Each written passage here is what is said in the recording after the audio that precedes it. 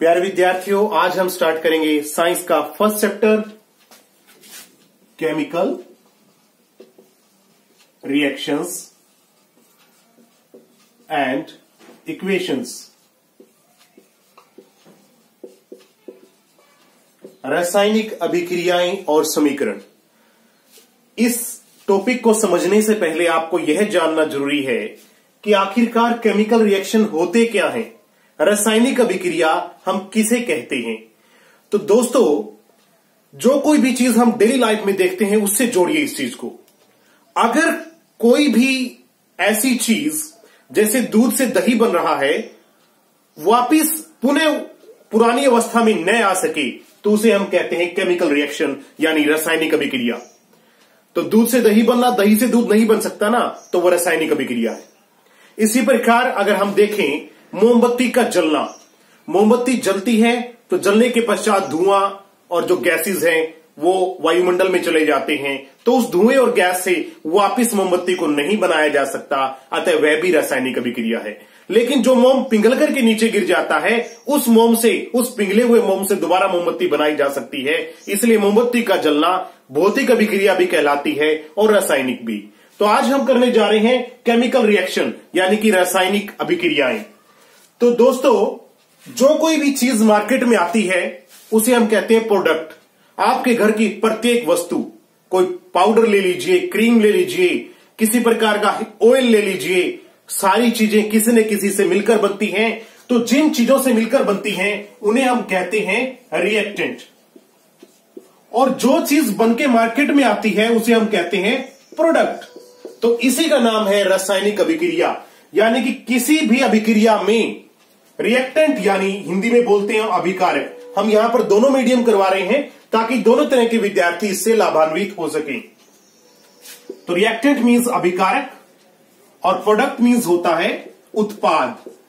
तो वो सभी अभिक्रियाएँ जिनमें रिएक्टेंट से मिलकर के प्रोडक्ट यानी कि अभिकारक से उत्पाद बने, उन्हें हम रासायनिक अभिक्रियाएँ कहते हैं। लेकिन इनकी विशेषता यह रहती है कि पुनः उत्पाद से अभिकारक नहीं बन सकता। दोबारा उसी रूप में वो चीज़ नहीं प्राप्त की जा सकती। ऐसी समस्त अभिक्रियाएँ कहलाती हैं केमिकल रिएक्शंस यानी रासायनिक अभिक्रियाएँ। तो प्यारे दोस्तों, आपको यह समझना ज़रूरी है कि आपको कैसे पता लगेगा कि केमिकल रिएक्शन हो रहा है। किस आधार पर हम ये कह सकते हैं कि chemical reaction take place how can we say that the chemical reaction take place how can we say that, how can we say that the chemical reaction take place? किस आधार पर हम ये कह सकते हैं कि केमिकल रिएक्शन हुआ है? तो चार चीज़ें नोट कर लेना। चेंज इन स्टेट पदार्थ की अवस्था में परिवर्तन। अगर हो रहा है तो वो भी रासायनिक अभिक्रिया के कारण हो सकता है। वैसे पदार्थ की अवस्था में परिवर्तन फ़िज़िकल चेंज भी है। क्योंकि जैसे बर्फ़ से पानी बन रहा है, वो फ़िज़िकल चेंज है। लेकिन अगर किसी में स्टेट चेंज हो रही है और साथ में इनमें से कुछ दो चार चीज़ें मैं आपको बता रहा हूँ, इनमें से कोई एक घटना घट रही है तो वो केमिकल रिएक्शन कहलाएगी। वो घटना क्या? इवोल्यूशन ऑफ़ गैस गैस का निकलना। अगर हम किसी चीज़ के अंदर दूसरा पदार्थ मिलाएँ और उसमें से गैस निकलने लग जाए तो उसे हम बोलेंगे केमिकल रिएक्शन इसके अलावा चेंज इन टेम्परेचर अगर एकदम से तापमान बढ़ने लगे, किसी भी रिएक्शन में अगर एकदम से तापमान बढ़ने लगे, अपने आप तो उसे हम बोलते हैं कि यहाँ पर भी केमिकल रिएक्शन यानी रासायनिक अभिक्रिया हो रही है। जैसे आपने देखा होगा व्हाइट वॉश करते हैं। तो चूने के अंदर पानी मिलाते हैं। पानी मिलाने पर क्या होना चाहिए? किसी चीज़ को ठंडा होना चाहिए। लेकिन चूने में पानी मिलाने पर बहुत अधिक मात्रा में हीट निकलती है ऊष्मा निकलती है तो इसे हम केमिकल रिएक्शन कह सकते हैं। इसके अलावा, चौथी जो चीज़ होगी, वो क्या होगी? चेंज इन कलर रंग में परिवर्तन। अगर हमने दो चीज़ों को आपस में मिलाया और उनके कलर में चेंज आ गया तो वो केवल केमिकल रिएक्शन के कारण हो सकता है। तो ये चार चीज़ें नोट कीजिए। अगर ये चीज़ें अगर हो रही हैं, या इनमें से एक या दो चीज़ भी हो रही है तो वो केमिकल रिएक्शन कहलाएगी। आगे बढ़ते हैं। तो जैसा मैंने आपको बताया, किसी भी केमिकल रिएक्शन में रिएक्टेंट यानी अभिकारक से मिलकर के क्या बनते हैं? उत्पाद बनते हैं। इसी आधार पर हम केमिकल रिएक्शन को निम्नलिखित भागों में बांट सकते हैं। The chemical reaction are of following types कौन कौन सी टाइप है केमिकल रिएक्शन की? Number one combination reaction combination reaction Hindi में हम इसको संयोजन अभिक्रिया कहते हैं। संयोजन अभिक्रिया। संयोजन अभिक्रिया। कंबीनेशन रिएक्शन ऐसी अभिक्रियाएँ जिसमें दो या दो से ज़्यादा अभिकारक मिलकर एक ही उत्पाद बनाएँ। When any reaction two or more reactant जैसे कार्बन और ऑक्सीजन यहाँ पर कितने रिएक्टेंट है? एक कार्बन है और एक ऑक्सीजन है। तो अभिकारक कितने हुए? दो। तो दो रिएक्टेंट मिलकर के in any reaction when two or more than two reactant are combined together to form single product product यहाँ पर एक ही है सीओ टू कार्बन डाइऑक्साइड तो ऐसी सारी अभिक्रियाएँ जिसमें दो या दो से अधिक अभिकारक मिलकर एक उत्पाद बनाएँ, उन अभिक्रियाओं को हम संयोजन अभिक्रिया कहते हैं। और एग्ज़ाम्पल आपके सामने है। दोनों चीज़ें नोट कर लीजिएगा। सेकंड है decomposition reaction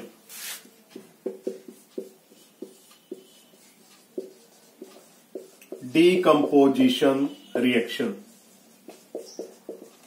decomposition reaction इसे हम बोलते हैं वियोजन अभिक्रिया। वियोजन अभिक्रिया। यानी कि वो सभी अभिक्रियाएँ जिनमें एक ही रिएक्टेंट है। जैसे यहाँ पर मैं दिखा रहा हूँ रिएक्टेंट क्या है? यानी अभिकारक कितना है? केवल एक। आप कैसे पता लगाएँगे एक है या दो है? देखिए, यहाँ पर कोई प्लस का साइन नहीं है ना? एक ही है रिएक्टेंट देखो। अगर यहाँ पर मैं प्लस का साइन देकर के कोई दूसरा रिएक्टेंट लिखता तो हम मानते कि एक और एक दो है। लेकिन अभी यहाँ पर कोई प्लस का साइन नहीं है। इट मींस यहाँ पर एक ही रिएक्टेंट है। और ये टूट करके वो अभिक्रियाएँ जिनमें एकल अभिकारक single reactant decompose into two or more than to product यहाँ पर देखिए, कितने भागों में टूट गया ये? दो भागों में सीएओ और CL CO two calcium oxide और कार्बन डाइऑक्साइड। ये क्या था यहाँ पर? जो संगमरमर का पत्थर जिसे हम बोलते हैं calcium carbonate. Calcium carbonate decompose हुआ चूने में, कैल्शियम ऑक्साइड में और कार्बन डाइऑक्साइड में। ऐसी अभिक्रिया को हम बोलते हैं वियोजन अभिक्रियाएँ। वो अभिक्रियाएँ जिनमें सिंगल रिएक्टेंट दो या दो से ज़्यादा प्रोडक्ट में टूट जाए, उसे हम बोलते हैं वियोजन अभिक्रिया। नंबर तीन पे चलते हैं। डिस्प्लेसमेंट रिएक्शन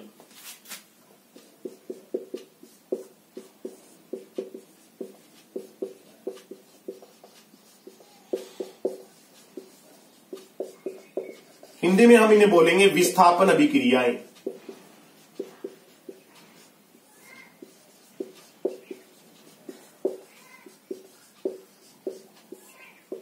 डिस्प्लेसमेंट रिएक्शन वो अभिक्रियाएँ जिसमें कोई अधिक क्रियाशील तत्व, कम क्रियाशील तत्व को उसके यौगिक से विस्थापित कर दे। यानी कि any reaction in which more reactive element displace the less reactive element from its compound उसे हम बोलते हैं डिस्प्लेसमेंट रिएक्शन जैसे मैं यहाँ पर दिखाता हूँ आपको फॉर एग्ज़ाम्पल जिंक और कॉपर सल्फेट की अगर रिएक्शन होती है तो प्यारे दोस्तों जिंक यहाँ पर अकेला है।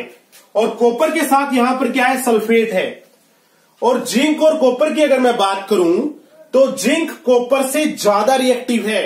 आपको कैसे पता लगेगा कौन ज़्यादा, कौन कम? तो मैं यहाँ पर एक सीरीज़ बनाऊँगा ताकि आपको पता लग सके कि इनमें से ज़्यादा रिएक्टिव कौन है, कम रिएक्टिव कौन है। तो जिंक और कॉपर सल्फेट की जो रिएक्शन होती है, उसमें कॉपर के पास जो सल्फेट है, उसको ले जाता है जिंक। तो यहाँ पर बन गया जिंक सल्फेट प्लस कॉपर। तो ऐसी अभिक्रियाओं को हम बोलते हैं विस्थापन अभिक्रिया, यानी डिस्प्लेसमेंट रिएक्शन प्यारे विद्यार्थियों डिस्प्लेसमेंट रिएक्शन कब होगी और कब नहीं होगी? उसके लिए आपको यह पता होना ज़रूरी है कि वो जो एलिमेंट जिसके साथ रिएक्शन हो रही है, वो कम रिएक्टिव है या ज़्यादा है? आप इसको समझने के लिए एक एग्ज़ाम्पल लीजिए। मान लीजिए दो पहलवान कुश्ती लड़ रहे हैं। एक स्ट्रोंग है तो काफ़ी ताकतवर है, जॉन सीना की तरह, और एक काफ़ी कमज़ोर है। तो शोन माइकल की तरह आप ले सकते हैं डब्ल्यू डब्ल्यू आप देखते हैं, या पहलवानों की कंपैरिजन आप कर सकते हैं। यानी कि एक साक्षी मलिक है और एक किसी दूसरे देश की पहलवान है। तो दोनों के बीच जो कुश्ती हो रही है तो संभावना किसके जीतने की है, जो ज़्यादा ताकतवर है? यही यहाँ पर होता है डिस्प्लेसमेंट रिएक्शन में। पर आपको कैसे पता लगेगा कि कौन ज़्यादा ताकतवर, कौन कम, किसकी रैंकिंग कितनी है? तो उसके लिए आप एक सीरीज़ याद कर लीजिए, इस प्रकार से।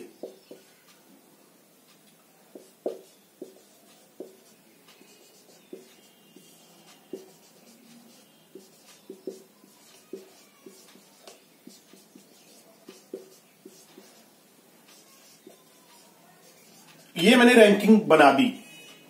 एलिमेंट्स की रैंकिंग जो आमतौर पर डिस्प्लेसमेंट रिएक्शंस के अंदर आते हैं, आप इसको याद करना है तो ऐसे भी कर सकते हैं। लिखबा नाका MG L NCR iron hydrogen copper silver gold यानी कि बंचीज में याद कर सकते हैं ताकि आपको आसानी से ये चीज़, ये टेबल आपको याद रहे। तो जो सबसे रिएक्टिव है यहाँ पर वो है लिथियम उसके बाद नंबर आ रहा है पोटेशियम का। नोट कर लीजिएगा। और यहाँ पर मैंने जो टेबल बनाई है, उसमें कम रिएक्टिव है गोल्ड गोल्ड से भी कम होता है प्लेटिनम लेकिन ये जो सीरीज़ है, मैंने इसमें प्लेटिनम को नहीं दिखाया, आप दिखाना चाहें तो नीचे प्लेटिनम भी लिख सकते हैं। तो सबसे कम रिएक्टिव यहाँ पर मैंने दिखाया गोल्ड सबसे हाई रिएक्टिव दिखाया लिथियम यानी कि नंबर वन रैंकिंग पर स्टैंड कर रहा है लिथियम अब जब दो पहलवानों की कुश्ती हो रही है सुपोज करो लिथियम की और बैरियम की तो कौन जीतेगा? लिथियम जीतेगा। तो यही होता है डिस्प्लेसमेंट रिएक्शन में। अब मैं आपको करवा के दिखाता हूँ। सुपोज करो यहाँ पर सोडियम के पास सल्फेट है, ओके? सोडियम के पास क्या है? सल्फेट है, और इसकी रिएक्शन होती है मैग्नीशियम से। सोडियम कहाँ पर है? ऊपर। मैग्नीशियम कहाँ है? इससे नीचे। तो ये रिएक्शन कभी भी नहीं होगी। ये भी आपने याद रखना है, क्योंकि इस प्रकार के क्वेश्चन कंपिटेटिव में भी आते हैं और वहाँ पर हम कंफ्यूज हो जाते हैं। हमें लगता है कि ये तो डिस्प्लेसमेंट रिएक्शन है, यहाँ पर एमजीएसओ बन जाना चाहिए। लेकिन प्यारे विद्यार्थियों, जब तक आपको ये सीरीज़ याद नहीं होगी, तब तक आप डिस्प्लेसमेंट रिएक्शन को नहीं समझ पाएँगे। आपको ये सीरीज़ पता है तो आपको पता होगा, मैग्नीशियम तो भाई सोडियम से कमज़ोर है। ये सल्फेट को कैसे लेके जा सकता है? ठीक है, उसी प्रकार से जैसे क्लास के अंदर दो बच्चे हैं और उनकी लड़ाई हो जाती है पेंसिल के ऊपर कि ये मेरी पेंसिल है, दूसरा बच्चा कहता है ये मेरी है। दोनों के बीच लड़ाई हो जाती है तो पेंसिल वो बच्चा छीन लेता है जो ताकतवर होता है। तो यहाँ पर वही चीज़ है, सोडियम के पास पेंसिल है। यहाँ पर सुपोज कर लीजिए पेंसिल मीन्स मैं यहाँ पर सल्फेट को बता रहा हूँ कि सोडियम के पास ये सल्फेट रूपी पेंसिल है। ये मैग्नीशियम तब लेकर के जाएगा जब इससे ज़्यादा ताकतवर होगा। लेकिन इस सीरीज़ से हमें पता लग रहा है, इस सीरीज़ को हम बोलते हैं रिएक्टिविटी सीरीज़ यानी कौन ज़्यादा रिएक्टिव कौन कम? ऊपर से नीचे जो रिएक्टिविटी है, वो घट रही है। तो सोडियम यहाँ स्टैंड करता है, मैग्नीशियम यहाँ करता है, सोडियम ज़्यादा ताकतवर है तो अपने पास से सल्फेट मैग्नीशियम को कभी लेने नहीं देगा, इसीलिए ये रिएक्शन कभी होगी नहीं। इसी प्रकार अगला देखिए कॉपर सल्फेट और यहाँ पर मैं ले लेता हूँ मैग्नीशियम के साथ। मैग्नीशियम यहाँ पर है कॉपर यहाँ पर है। यानी मैग्नीशियम कॉपर से बहुत ज़्यादा ताकतवर है तो मैग्नीशियम सल्फेट को अपने साथ ले जाएगा। तो यहाँ पर क्या बनेगा? Magnesium sulphate plus copper as simple as very good मेरे हिसाब से अब आप कभी भी नहीं भूलेंगे कि डिस्प्लेसमेंट रिएक्शन कब होगी और कब नहीं होगी। आगे बढ़ते हैं। चौथी जो टाइप है, उसको हम बोलते हैं double displacement reaction double displacement double displacement reaction यानी कि द्विविस्थापन अभिक्रियाएँ द्विविस्थापन पहले वाली क्या थी? विस्थापन, और ये क्या है? द्विविस्थापन अभिक्रियाएँ यानी कि वो सभी अभिक्रियाएँ जिनमें दोनों तरफ़ आयनों का आदान प्रदान हो। यानी इसके पास जो चीज़ है, वो दूसरा ले गया। सुपोज करो मेरे पास पेन है, एक बच्चे के पास पेंसिल है, मैंने उससे पेंसिल ले ली, उसने मुझसे पेन ले लिया। वेरी सिंपल जैसे मैं आपको दिखाता हूँ करके। देखिए यहाँ पर सोडियम सल्फेट सोडियम के पास सल्फेट है, बैरिलियम के पास क्लोराइड है। Barium sorry barium not beryllium barium के पास क्या है? क्लोराइड है। तो सोडियम का जो सल्फेट है, वो बैरियम ले गया, और बैरियम के पास जो क्लोराइड है, वो सोडियम ले गया। तो दोनों का, जो आयंस का आदान प्रदान अगर होता है तो ऐसी अभिक्रियाओं को हम बोलते हैं डबल डिस्प्लेसमेंट रिएक्शन यानी कि द्वि विस्थापन अभिक्रियाएँ। तो बैरियम किसको ले गया भाई? सल्फेट को और सोडियम किसको ले गया? क्लोरीन को। अब एक और बात मैं यहाँ पर बताना चाहता हूँ। ये जो रिएक्शन है, इसके अंदर जब हम सोडियम सल्फेट में बैरियम क्लोराइड को डालते हैं तो जो हम जिस टेस्ट ट्यूब के अंदर हम डालते हैं, सोडियम सल्फेट को बैरियम क्लोराइड में, उस टेस्ट ट्यूब के अंदर बैरियम सल्फेट का एक चूर्ण जमा हो जाता है। बिल्कुल बारीक चूर्ण, जिसे हम बोलते हैं प्रेसिपिटेट ये तीर के निशान से दिखाते हैं। तीर का निशान का मतलब है कि इसके अंदर व्हाइट कलर का प्रेसिपिटेट जमा हो गया, जिसे हिंदी में बोलते हैं अवक्षेप। तो इसीलिए इन अभिक्रियाओं को हम अवक्षेपण अभिक्रिया भी कहते हैं। अवक्षेपण अभिक्रिया। अगर पेपर में आता है, अवक्षेपण अभिक्रिया किसे कहते हैं? यानी प्रेसिपिटेशन रिएक्शन प्रेसिपिटेशन रिएक्शन तो प्यारे विद्यार्थियों, आपने बिल्कुल दिक्कत नहीं माननी है। रिएक्शन वही लिखनी है जो मैंने डबल डिस्प्लेसमेंट की लिखी द्विविस्थापन अभिक्रिया की। आपने केवल क्या करना है? डेफिनेशन को बदल देना है। जैसे यहाँ पर लिखा था कि वे अभिक्रियाएँ जिनमें आइन एक्सचेंज होता है is exchange of ion between two compounds या आयनों का आदान प्रदान होता है, उसकी जगह पर आपने लिखना है, वह अभिक्रियाएँ जिनमें अवक्षेप बनता है। दो reaction in which precipitate is formed is called as precipitate reaction और यही अभिक्रिया आपने यहाँ पर लिखनी है। बिल्कुल सेम तो ये थी हमारी रिएक्शंस की टाइप अब प्यारे विद्यार्थियों, आपको यह जानना ज़रूरी है कि कोई भी केमिकल रिएक्शन है, उसमें जो भी रिएक्शन होता है, जैसे अगर आपने देखा होगा, अगर आप हलवाई को भी ले लीजिए तो हलवाई क्या करता है, अगर हम उससे बोलते हैं कि हमने 40 किलो लड्डू बनवाने हैं तो वो कहता है कि भाई ऐसा है, सात किलो घी लगेगा इसमें, और दस किलो चीनी लगेगी, दस और सात सत्रह और बाकी जो तेईस किलो है वो आटा या मैदा जो भी वो यूज़ करता है बेसन यूज़ करता है वो लगेगा। आ, तो हम कहते हैं कि भाई चालीस किलो लड्डू बना रहा है ये और ये केवल तेईस किलो ही बेसन यूज़ कर रहा है। तो प्यारे विद्यार्थियों वो भी रासायनिक अभिक्रिया का यूज़ करता है। कि जो भी चीज़ हम मिलाते हैं उनका जो टोटल वेट है जो टोटल वेट है रिएक्टेंट का यानी अभिकारक का वो प्रोडक्ट के टोटल वेट के बराबर होता है। यानी कि अगर हम सुपोज करो सात किलो घी मिलाते हैं, तेरह किलो चीनी मिलाते हैं, तेरह और सात बीस तो बेसन बीस किलो बनेगा तो लड्डू कितने किलो बनेंगे? चालीस किलो। जितने अभिकारक हम लेंगे उत्पाद जो है, उसके वेट के बराबर ही बनेगा। इसे साइंस की भाषा में बोला जाता है law of conservation of mass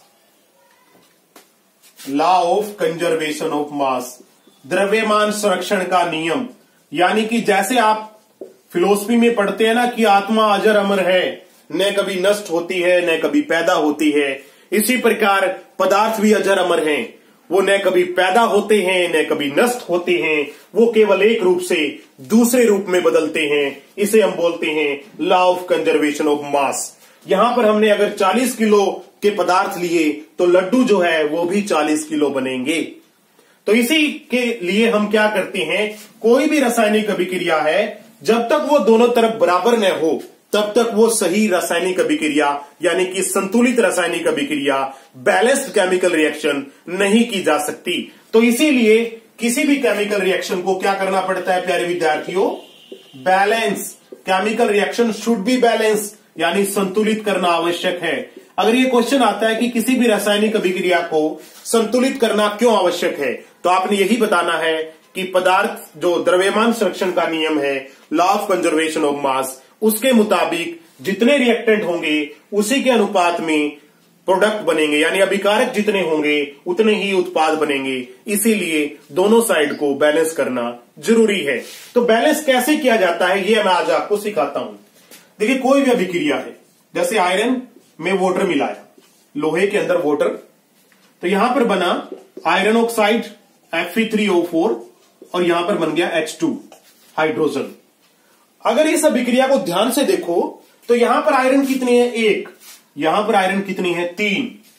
तो इसका मतलब यह अभिक्रिया बैलेंस नहीं है। तो बैलेंस करने का बिल्कुल आसान तरीका बता देता हूँ। बहुत सारे विद्यार्थी हैं जो बैलेंस कर ही नहीं पाते, क्योंकि इजी मेथड से उनको बताया नहीं जाता या समझ नहीं आता, पता नहीं क्या कारण है। तो मैं आपको बहुत इजी मेथड बता देता हूँ। लाइन लगा लीजिए बीच में, इधर लिख लीजिए राइट हैंड साइड और इधर लिख लीजिए आप लेफ़्ट हैंड साइड बिल्कुल सिंपल अब इधर क्या क्या चीज़ें हैं वो लिख लीजिए। एक यहाँ पर एफ़ है, यानी आयरन है। एक यहाँ पर एच यानी हाइड्रोजन है। और एक यहाँ पर ओ यानी ऑक्सीजन है। इसी प्रकार इधर, एक यहाँ पर एफ़ है, एक यहाँ पर हाइड्रोजन है। और एक यहाँ पर ऑक्सीजन है। अब देखो इधर एफ़ कितने हैं? वन यहाँ लिख लीजिए वन हाइड्रोजन कितने हैं? टू यहाँ लिख लीजिए टू ऑक्सीजन कितने वन उधर एफ़ थ्री ऑक्सीजन फोर और हाइड्रोजन टू अब देखिए बैलेंस कहाँ है? बैलेंस तो है ही नहीं ना। तो आप इसको बैलेंस करना है। बैलेंस करने के लिए क्या करना है? मैं आपको एक इजी मेथड बताता हूँ। पहले क्या करो? इनको डिब्बे में बंद कर लो भाई। बाद में इरेज कर देना। पहले इसको पेंसिल से डिब्बे में बंद कर लो। क्योंकि बहुत सारे बच्चे बैलेंस करने के लिए क्या करते हैं? इधर तीन है जी। लो सर, यहाँ तीन लगा दिया होगी जी, बैलेंस आयरन तो हो लेकिन गलत है ये। इस तरह से हम इसको बैलेंस नहीं कर सकते। तो इस चीज़ से बचने के लिए आप क्या करो? पहले से पेंसिल से डिब्बे में बंद कर लो। हो गया? अब आपने क्या करना है? अगर आपने इसको बैलेंस करना है तो आपने इसके साथ कोई छेड़छाड़ नहीं करनी। इसीलिए मैंने इसको डिब्बे में बंद किया है। आपने क्या करना है? कोई भी डिजिट अगर आपने लगाना है बैलेंस करने के लिए, वो इस डिब्बे के आगे लगाना है। क्लियर? तो जैसे आपके यहाँ पर कितने तीन। यहाँ पर कितने एक। तो यहाँ पर लगा दो तीन। डिब्बे के आगे याद रखना, ये हो गए बैलेंस बाकी चीज़ें अभी बैलेंस नहीं है। हाइड्रोजन यहाँ दो है, यहाँ भी दो है। ऑक्सीजन यहाँ एक है, यहाँ चार है। तो मैं यहाँ पर क्या करूँ? चार लगा दू? चार लगा दिया। तो फोर को जब ऑक्सीजन से मल्टीप्लाई किया तो फोर इंटू वन कितना हो गया? फोर तो ऑक्सीजन यहाँ पर हो गए फोर लेकिन इस चार के लगाने से हाइड्रोजन कितने हो गए? फोर इंटू टू एट यानी एक चीज़ को हमने बैलेंस किया तो दूसरी चीज़ गड़बड़ हो गई। कोई बात नहीं, इधर देख लेते हैं बैलेंस इधर कर देंगे अब। हाइड्रोजन यहाँ पर दो हैं। तो अगर यहाँ पर मैं चार लगाता हूँ तो फोर इंटू टू कितने हो गए? एट अब यहाँ पर तीनों चीज़ें बैलेंस हैं। इसीलिए मैं आपको कहता हूँ, जब भी कोई चीज़ बैलेंस करें, आप कोई भी डिजिट लगाएँ, वो इस डिब्बे के आगे लगाएँ। इसीलिए मैंने इनको डिब्बे में बंद किया। आप कभी भी बैलेंस करना गलत नहीं करेंगे। तो प्यारे विद्यार्थियों नेक्स्ट टॉपिक की चल, तरफ़ चलते हैं इस चैप्टर का। वो है oxidation and reduction oxidation and reduction Hindi में हम इसको बोलते हैं उपचयन तथा अपचयन। आप जैसे नाम से पता लग रहा है ऑक्सीडेशन मीन्स क्या होता है?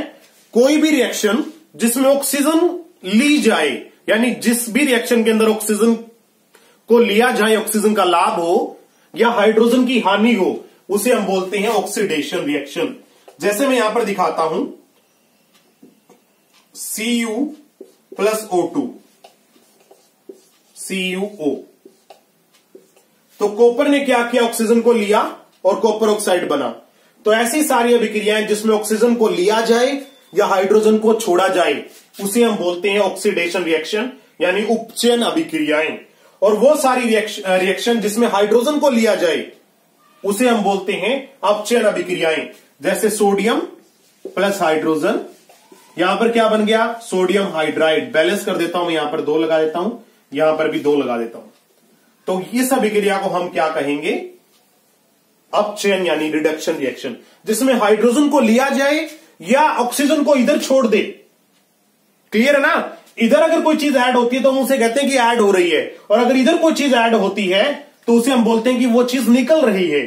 तो अगर इधर ऑक्सीजन को छोड़ दिया जाए, या इधर हाइड्रोजन को ले लिया जाए तो उसे हम बोलते हैं रिडक्शन या ऑक्सीजन को ले लिया जाए, या हाइड्रोजन को छोड़ दिया जाए तो उसे हम बोलते हैं ऑक्सीडेशन रिएक्शन और वो अभिक्रिया जिसमें दोनों चीज़ हो रही हो। जैसे यहाँ पर देखिए, ये देखिए Z N O plus C zinc oxide plus carbon, zinc plus carbon monoxide. यहाँ पर देखिए, जिंक के पास ऑक्सीजन थी। है ना यहाँ पर? इधर नहीं है। यानी जिंक ने ऑक्सीजन को खो दिया। तो जिंक में क्या हुआ? रिडक्शन। ऑक्सीजन का खो देना क्या कहलाता है? रिडक्शन, यानी अपचयन। और दूसरी तरफ़ अगर हम देखें, कार्बन के पास ऑक्सीजन नहीं थी, इसने इसको प्राप्त कर लिया। तो कार्बन में क्या हो रही है? ऑक्सीडेशन। यानी उपचयन। तो ऐसी अभिक्रियाएँ जिनमें दोनों चीज़ें हो रही हो, यानी एक तरफ़ ऑक्सीडेशन हो रहा हो, एक तरफ़ रिडक्शन हो रहा हो, ऐसी अभिक्रियाओं को हम बोलते हैं रिडोक्स रेड और ओक्स यानी रिडक्शन और ऑक्सीडेशन यानी रिडोक्स रिएक्शंस क्लियर है ना? अब अगर एक और चीज़ पूछ ली जाए आपसे कि इसमें ऑक्सीडेशन कौन, कहाँ पर हो रहा है तो आप ये बता दोगे, यहाँ पर हो रहा है। रिडक्शन कहाँ हो रहा है तो आप बता दोगे यहाँ पर हो रहा है। और अगर आपसे ये पूछ ले कि कौन ऑक्सीडाइज हो रहा है या कौन रिड्यूस हो रहा है तो ये चीज़ भी आपको पता होनी चाहिए। ऑक्सीडाइज मीन्स क्या होता है? जो ऑक्सीजन को ले ले। तो ऑक्सीजन को किसने ले लिया? कार्बन ने। तो कार्बन ऑक्सीडाइज हो रहा है। रिड्यूस क्या होता है? जो ऑक्सीजन को दे दे। तो किसने दे दी? जिंक ऑक्साइड ने।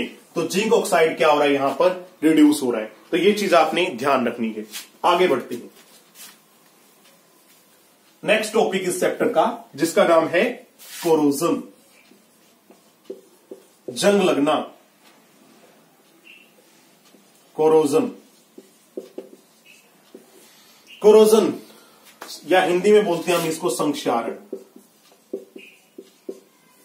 क्या होता है संक्षारण किसी भी धातु की जो ऊपरी परत है जब भी वो ऑक्सीजन और पानी के संपर्क में आती है तो वो ऊपरी परत धीरे धीरे खत्म हो जाती है। जैसे आपने देखा होगा, लोहे की ऊपरी परत को क्या लग जाता है? जंग लग जाता है। तो उसे हम बोलते हैं संक्षारण। The slow eating away of the upper layer of metal due to the action of oxygen and water is called as corrosion किसी भी धातु की ऊपरी परत का धीरे धीरे पानी और वायु के प्रभाव में आने पर नष्ट हो जाना संक्षारण कहलाता है। तो इसको कैसे रोका जा सकता है? बाय अप्लाइंग पेंट क्या करके? पेंट करके। या फिर उस धातु के ऊपर क्या लगा करके? ग्रीस लगाकर। या क्या करके? उसके ऊपर जिंक की परत चढ़ाकर। Coating zinc over metal. क्योंकि जिंक की जो परत होती है, वो ज़्यादा रिएक्टिव है लोहे से। आयरन जो भी नीचे वाले एलिमेंट्स हैं। तो अगर जंग लगेगा तो जिंक को ही लगेगा ना। बाकी जो लोहा वगैरह है, वो बच जाएगा। जिंक की परत चढ़ाकर। तो ये आपको ध्यान रखना है कि अगर हमने जंग लगने से बचाना है तो ये चीज़ें हम कर सकते हैं। अब हम बढ़ते हैं लास्ट टॉपिक की तरफ़, इस चैप्टर का, जिसका नाम है रेंसिडिटी जिसे हम हिंदी में बोलते हैं विकृत गंदिता। विकृत गंदिता। बिल्कुल सिंपल है, इसमें कुछ भी नहीं है। अगर हम किसी भी खाने की वस्तु को खुला छोड़ देते हैं कुछ दिनों के लिए तो उसमें से बहुत ही बैड स्मेल आने लग जाती है जिसे हम बोलते हैं रेंसिडिटी यानी विकृत गंदिता। मीन्स uh, क्या है कि when we kept any food substances open in air the bad smell is comes out from it is called as rancidity यानी कि भोजन को काफ़ी समय तक हवा में खुला छोड़ देने पर उसमें से गंध आने लगती है जिसे हम बोलते हैं विकृत गंदिता। तो इसको कैसे रोक सकते हैं हम? रेफ्रिजरेटर में रख दीजिए फ़ूड को फ्रीज में रखकर। By placing the food in refrigerator भोजन को फ्रीज में रख करके, या फिर एयर टाइट कंटेनर में। जैसे बिस्किट वगैरह आपने एयर टाइट कंटेनर में रखते हो ना तो काफ़ी टाइम तक वो मुलायम नहीं होते, बिल्कुल कड़क रहते हैं। तो एयर टाइट कंटेनर में रख करके भी कुछ टाइम तक फ़ूड को खराब होने से बचाया जा सकता है।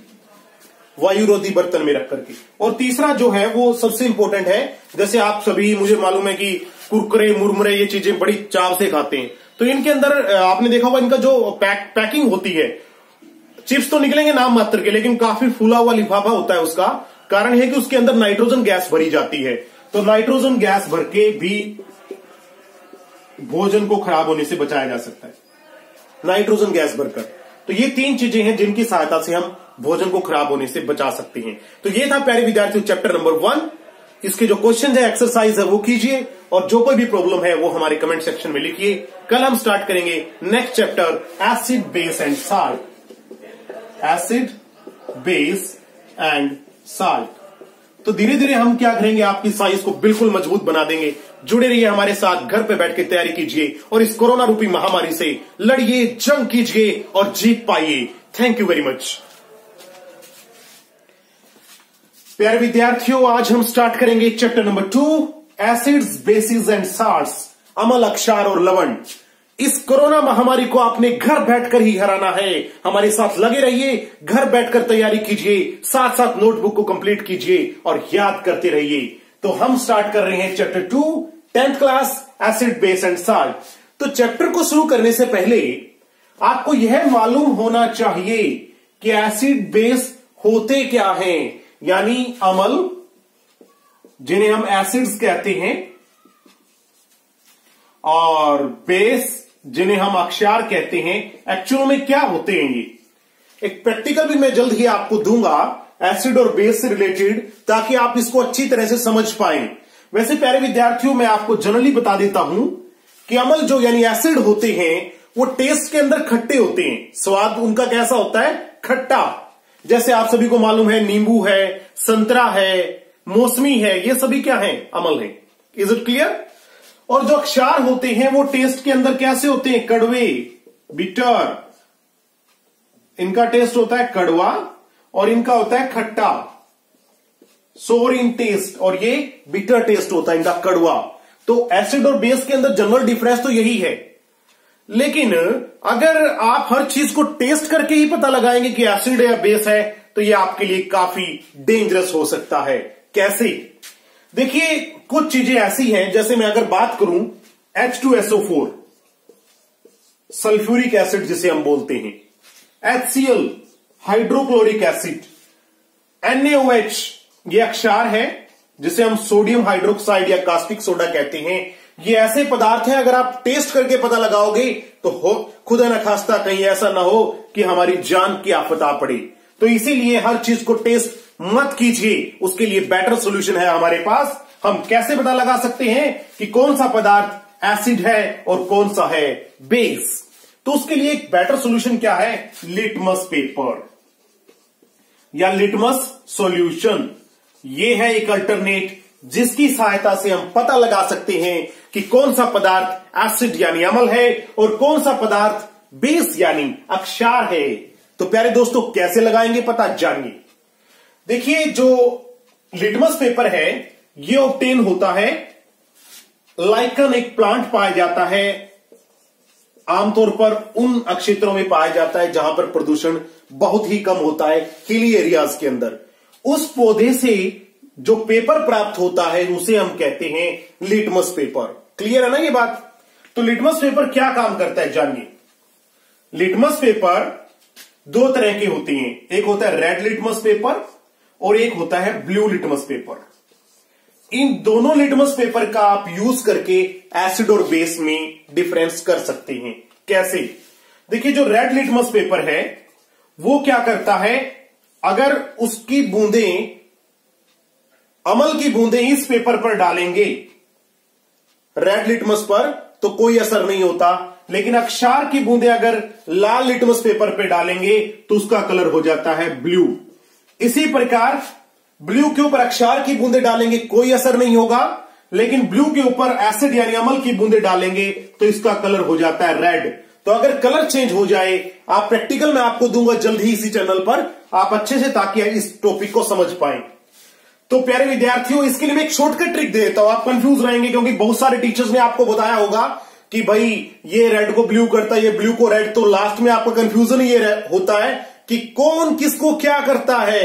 यहीं पे हमारी सारी की सारी जो मेहनत है, यहीं पे टिकी रहती है। तो सॉल्यूशन मैं आपको दे देता हूँ। आप एक शॉर्टकट ट्रिक याद कीजिए, Anil. Very simple Anil. Anil, ऐसे अमल। नी यानी नीला। और लय यानी लाल। तो अमल क्या करते हैं? नीले लिटमस को लाल करते हैं। वेरी सिंपल तो बेस यानी अक्षार क्या करेंगे? इसका उल्टा, यानी वो लाल को नीला करेंगे। तो आप अनिल नाम को याद करना, कभी नहीं भूलेंगे कि एसिड और बेस में क्या डिफरेंस है। तो प्यारे विद्यार्थियों, आगे बढ़ते हैं अब हम।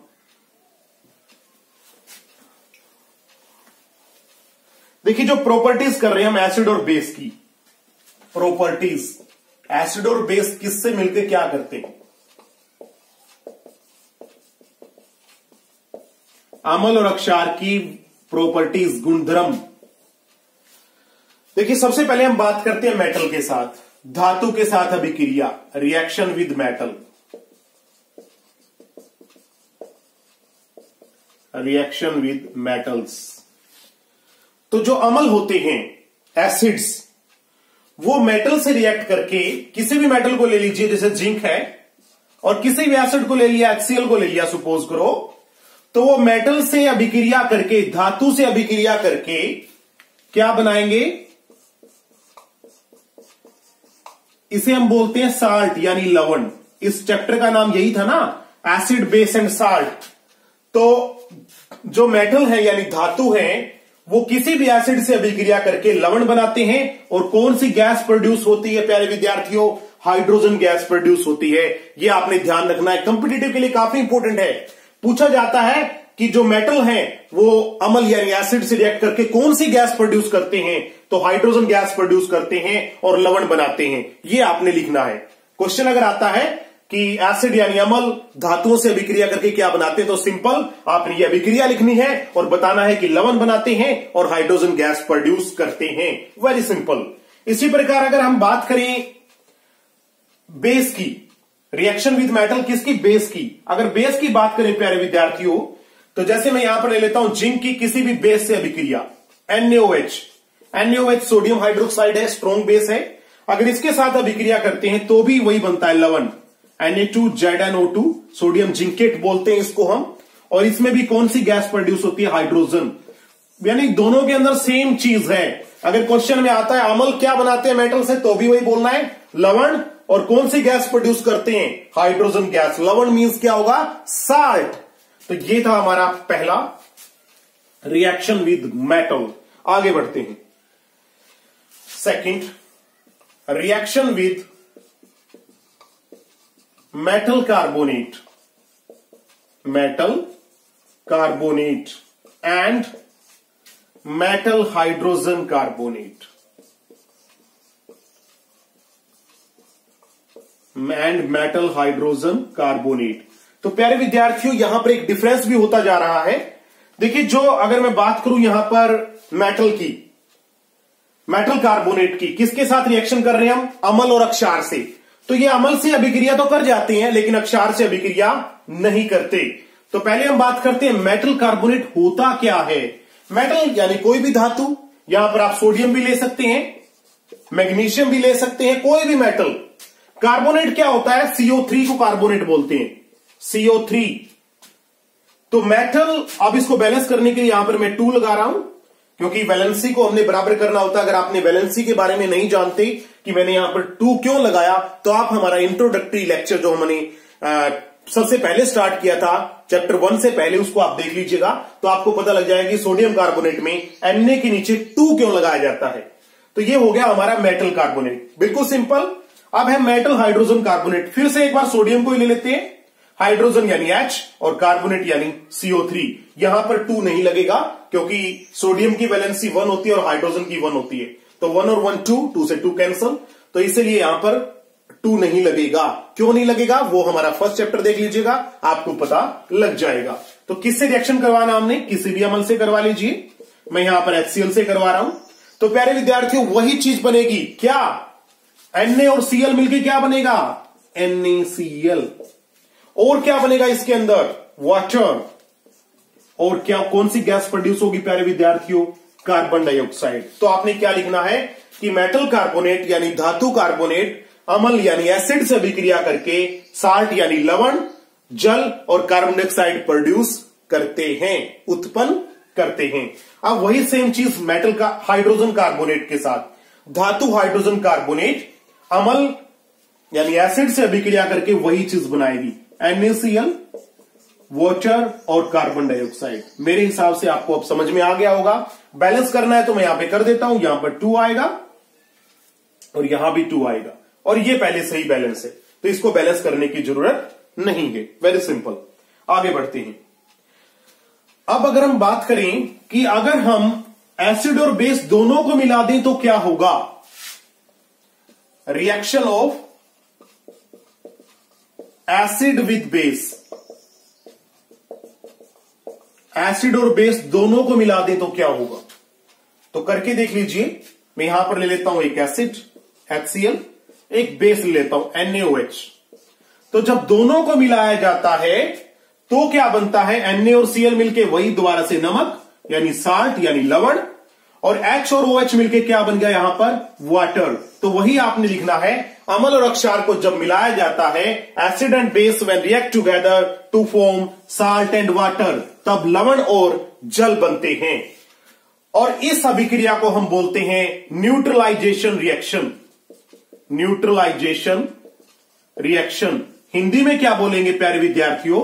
उदासीनीकरण अभिक्रिया। उदासीनीकरण अभिक्रिया। तो उदासीनीकरण अभिक्रिया क्या होती है? अमल और अक्षार आपस में मिलकर लवण और जल बनाते हैं। When acid and base combine together to form salt and water is called as neutralisation reaction मेरे हिसाब से समझ में आ गया होगा? इस अभिक्रिया का हमारे ना दैनिक जीवन में बहुत महत्व है। कहाँ कहाँ? जानिए। अभी कराते हैं नेक्स्ट टॉपिक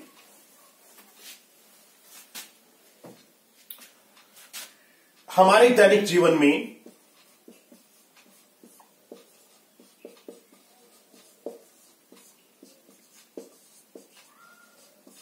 पीएच का क्या महत्व है? पीएच क्या होता है? अभी नेक्स्ट टॉपिक हमारा पीएच पे ही आने वाला है।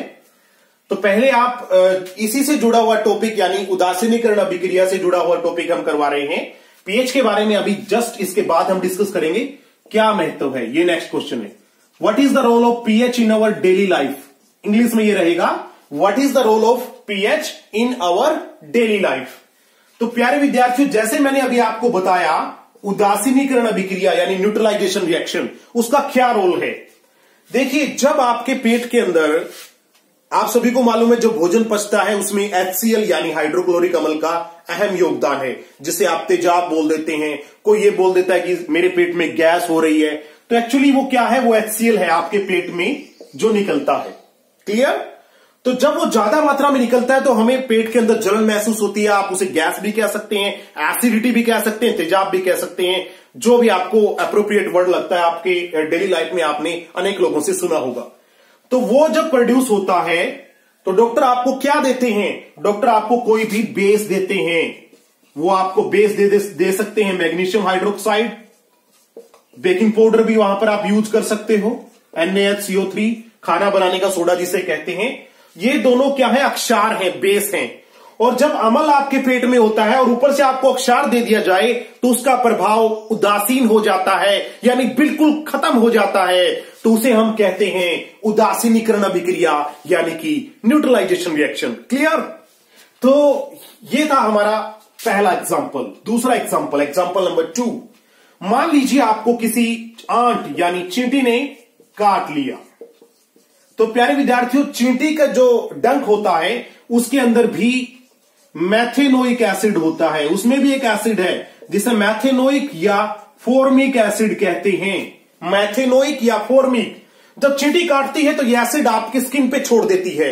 और उसी दौरान अगर आप इनमें से कोई भी बेस वहाँ पर फटाफट लगा लें, जैसे बेकिंग पाउडर, जिसे हम मीठा सोडा बोलते हैं, या मैग्नीशियम हाइड्रोक्साइड थोड़ा सा लगा लें तो वो जगह वहाँ पर सोजन नहीं आएगी, क्योंकि चींटी का जो एसिड है, उसको बिल्कुल उदासीन कर देगा इनमें से कोई भी एक बेस, यानी अक्षार। इसी प्रकार अगर आपके खेत की मिट्टी एसिडिक हो, अगर आपकी सोइल अमलीय हो, एसिडिक हो खेत की मिट्टी तो आप वहाँ पर क्या मिला सकते हैं? चूना मिला सकते हैं।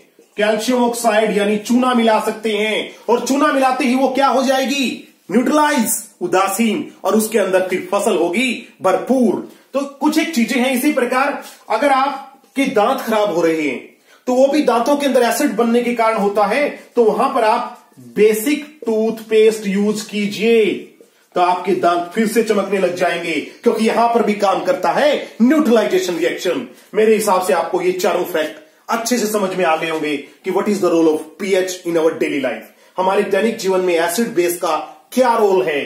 हर जगह अगर हम इन चीज़ों का ध्यान रखेंगे तो बहुत सारी परेशानियों से हम बच सकते हैं। अब पीएच के ऊपर आ जाते हैं। पीएच आखिर है क्या? पीएच क्या होता है? पीएच होता है हाइड्रोजन आयन कंसेंट्रेशन। किसी भी पदार्थ में हाइड्रोजन आयन की मात्रा कितनी है? उसे हम बोलते हैं पीएच। हाइड्रेंट पोटेंशियल भी आप इसको बोल सकते हैं। Hydrant potential. यानी हाइड्रोजन का जो पोटेंशियल है, मात्रा है, वो कितनी है? उसे हम बोलते हैं पीएच। तो प्यारे विद्यार्थियों, दुनिया के अंदर जितने भी पदार्थ है ना, उनका पीएच होता है ज़ीरो से लेकर के फोर्टीन तक। क्लियर है ये बात? ज़ीरो से फोर्टीन तक। अब जो ज़ीरो वाले होते हैं, वो होते हैं एसिडिक। क्या होते हैं वो? एसिडिक, यानी अमलीय। और जो इस तरफ़ वाले होते हैं पदार्थ उन्हें हम कहते हैं अक्षारीय, यानी बेसिक। जो बीच में पदार्थ होते हैं, यानी सात वाले, उन्हें हम कहते हैं न्यूट्रल। यानी कि आपको हर चीज़ को क्या करना है? न्यूट्रल करना है। उसका पीएच कितना करना है? सात करना है। आपकी बॉडी का पीएच अगर बढ़ गया ना, एक एक परसेंट भी यानी सात से आठ भी हो गया तो आपकी मृत्यु भी हो सकती है। इसलिए आपको अपना पीएच कितना करना है? सात करना है। अगर आप इसमें करने में कामयाब रहते हैं तो आपकी लाइफ भी लंबी रहेगी और आप हमेशा स्वस्थ रहेंगे। तो सारा का सारा राज इसी में छिपा हुआ है। तो यानी इससे इधर वाले क्या होंगे? एसिडिक इससे इधर वाले क्या होंगे? बेसिक, यानी अक्षारिय। क्लियर है ये बात? और सात वाले क्या होंगे? न्यूट्रल। वाटर जिसको आप बात करते हैं डिस्टिल वाटर, वर्षा का पानी। थोड़ी देर वर्षा होने के बाद जो पानी आता है, वो साफ़ होता है, उसमें कोई गैसेस मिली हुई नहीं होती। तो उसे हम डिस्टिल वाटर भी कह सकते हैं। उसका जो पीएच मान है, वो सात होता है। तो प्यारे विद्यार्थियों, सात से जितना कम, उतना ही ज़्यादा एसिडिक यानी कि ज़ीरो वाला तो क्या होगा? स्ट्रोंग एसिड होगा। स्ट्रोंग एसिड जिसे हिंदी में बोलेंगे हम परबल अमल। और जितना ज़ीरो से एक, दो, तीन, चार, पाँच छ इधर जाते जाएँगे एसिड की जो ताकत है वो कम होती जाएगी। यानी कि चार, पाँच, छह वाले क्या कहलाएँगे? दुर्बल अमल। यानी कि वीक एसिड इसी प्रकार इधर जाइए, चौदह वाले जो फोर्टीन है, वो स्ट्रॉन्ग बेस परबल अक्षार। और जितना इधर आओगे, यानी कि आठ, नौ, दस, ये वाले क्या होंगे? वीक बेस बात समझ में आ गई ना? ग्यारह, बारह, तेरह वाले थोड़े स्ट्रोंग होंगे। चौदह वाला तो वेरी स्ट्रोंग होगा। इसी प्रकार ज़ीरो एक दो वाले स्ट्रोंग है। ज़ीरो वाला सबसे स्ट्रोंग है। एक वाला थोड़ा सा कम, दो वाला थोड़ा और कम। तो इस प्रकार ये पीएच होती है। मेरे हिसाब से अब आपको समझ में आ गया होगा कि पीएच एक्चुअली है क्या। प्यारे विद्यार्थियों, इस पीएच के बारे में मैं आपको थोड़ा बताना भी चाहूँगा। एक्चुअल में ये पीएच है क्या? तो देखिए, जैसे आप एसिडिक रेन की बात करते हैं एसिडिक रेन, अमलीय वर्षा। उसका नुकसान क्यों है? क्योंकि उसका जो पीएच मान होता है ना, एसिडिक रेन का, अमलीय वर्षा का, वो 5.6 से कम होता है। होना कितना चाहिए पानी का साथ? तो इसका 5.6 से भी कम होता है। इसका मतलब क्या है? ये आपके लिए काफ़ी डेंजरस है। एनएओएच का पीएच मान 14 होता है। यानी कि ये क्या है? स्ट्रोंग एसिड है। क्लियर है ना बात? यहाँ पर समझ में आ रही है? NaHCO3 सोडियम हाइड्रोजन कार्बोनेट इसका लगभग नौ के आसपास होता है। तो ये क्या है? यानी कि बेस तो है, अक्षारीय तो है, लेकिन वीक बेस है, दुर्बल अक्षार है। इसी प्रकार जो H2SO4 है, उसका पीएच मान होता है एक। तो ये क्या हुआ? स्ट्रोंग एसिड HCl का ज़ीरो होता है तो ये वेरी स्ट्रोंग एसिड हुआ ना, सबसे स्ट्रोंग क्लियर है बात यहाँ पर? समझ में आ रही है? वेरी गुड तो कुछ एक बातें ऐसी हैं जो आपको पता होनी चाहिए। मिल्को मैग्नीशिया मैग्नीशियम हाइड्रोक्साइड की बात करें। तो उसका पीएच मान 10 होता है। आमतौर पर आपको जो बोतल देता है डॉक्टर, कि सुबह सुबह आपने इसको पीना है, या जो भी आपको टैबलेट दी जाती है, खाली पेट लेने वाली, वो एक्चुअल में एसिड को दूर करने के लिए दी जाती है। तो आपको ये छोटी छोटी बातें अगर आपको पता होंगी तो आपको इस प्रकार की दिक्कत नहीं आएगी। आपको पता होगा कि पीएच का क्या रोल है हमारी डेली लाइफ में, कि इसका पीएच कितना होता है, कॉफ़ी का कितना होता है, लगभग इसका रहता है सेवन पॉइंट सिक्स के आसपास। तो ये चीज़ें आपको मालूम होनी चाहिए। मिल्क की बात करें तो भी 7.4 7.5 के आसपास मिल्क का पीएच रहता है। तो प्यारे विद्यार्थियों, ये तो था पीएच के बारे में। अब हम बात करते हैं क्या सारे एसिड एसिड ही होते हैं। एसिड की पहचान क्या है? कैसे पता लगाएँगे? देखिए, जैसे एचसीएल है। इसके आगे क्या है? एच एच है। ये भी इसके आगे भी एच है। मोस्टली जिनके आगे एच है, ये तो मैं आपको एक शॉर्टकट ट्रिक दे रहा हूँ। कोई हार्ड एंड फास्ट रूल नहीं है। वैसे अगर मैं आपको बता दूँ, इसके पीछे एच है, सिरका जिसे हम बोलते हैं एसिडिक एसिड, ये भी एसिड है। लेकिन आमतौर पर जिसके आगे एच है, वो एसिड ही होते हैं, लगभग। तो क्यों एसिड क्यों होते हैं ये? क्योंकि ये वोटर में मिलकर, जैसे एचसीएल है वोटर में मिलकर कौन सा आयन देते हैं? हाइड्रोजन आयन देते हैं हाइड्रोजन आयन। कोई भी अगर हाइड्रोजन आयन देगा तो वो एसिड होगा। ये आपने ध्यान रखना है। तो जब ये वाटर में मिलते हैं तो यहाँ से हाइड्रोजन छोड़ते हैं, और ये हाइड्रोजन इस वाटर से मिलकर के H2O और एक ये H, ये बना लेते हैं H3O यानी H2O ये था, H इसने छोड़ दिया तो ये बन गया H3O इसे हम बोलते हैं हाइड्रोनियम आइन तो एसिड जो भी है, वो वाटर में मिलकर के हाइड्रोनियम आयन बनाते हैं तो इसी कारण ये एसिड होते हैं। बिना वाटर के कोई भी एसिड एसिड की तरह व्यवहार करता ही नहीं है। ये क्वेश्चन पेपर में आता है कि why acid not act as an acid in the absence of water बिना पानी के कोई भी अमल, अमलीय व्यवहार प्रदर्शित क्यों नहीं करता? आपने बताना है, क्योंकि बिना पानी के कोई भी एसिड हाइड्रोजन आयन को नहीं छोड़ता है। इसीलिए वो अमल की तरह व्यवहार नहीं करता, क्योंकि अमल वही होता है जो हाइड्रोजन आयन को छोड़ता है, और पानी के बिना वो छोड़ेगा नहीं। वेरी सिंपल तो ये इंपॉर्टेंट क्वेश्चन है। कई बार ये भी क्वेश्चन आता है कि हाइड्रोजन तो इनमें भी होते हैं। ग्लूकोज में। ग्लूकोज ये ग्लूकोज है। या फिर इथेनॉल में, इनमें भी हाइड्रोजन है। तो ये अमल की तरह व्यवहार क्यों नहीं करते? तो उसका आंसर भी इसी में छुपा हुआ है कि ये जल के साथ मिलकर हाइड्रोजन आयन छोड़ते ही नहीं है। और जब छोड़ेंगे नहीं तो उन्हें हम एसिड कहेंगे नहीं। एसिड उसे कहते हैं जो हाइड्रोजन आयन को छोड़ते हैं। तो आपने इसका आंसर ये देना है क्योंकि ये वाटर मिलकर हाइड्रोजन आयन को रिलीज़ नहीं करते। अब आपने ये बताना है नेक्स्ट क्वेश्चन आ जाता है, क्या जो एसिड होते हैं, वो इलेक्ट्रिसिटी को कंडक्ट करते हैं, यानी उनमें से विद्युत धारा गुजर सकती है तो इसका आंसर भी है यस क्योंकि वो क्या रिलीज़ करते हैं? हाइड्रोजन आयन और दूसरी तरफ़ कैटाइन भी रिलीज़ करेंगे। तो आयंस के प्रोड्यूस यानी आयनों के बनने के कारण, इनमें से विद्युत धारा गुजर सकती है। ये ध्यान रखना आपने, और ये आपने अगर पूछे तो आपने बताना भी है। अब हम बात करते हैं साल्ट की। साल्ट्स। सबसे पहले हम ले लेते हैं। पहला जो साल्ट है हमारा, ब्लीचिंग पाउडर।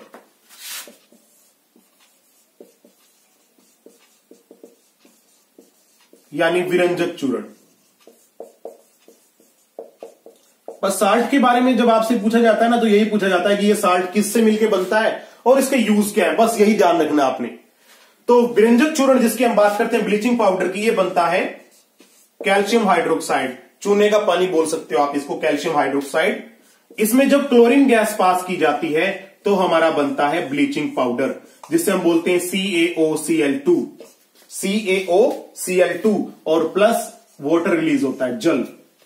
तो इसका नाम क्या है ब्लीचिंग पाउडर का?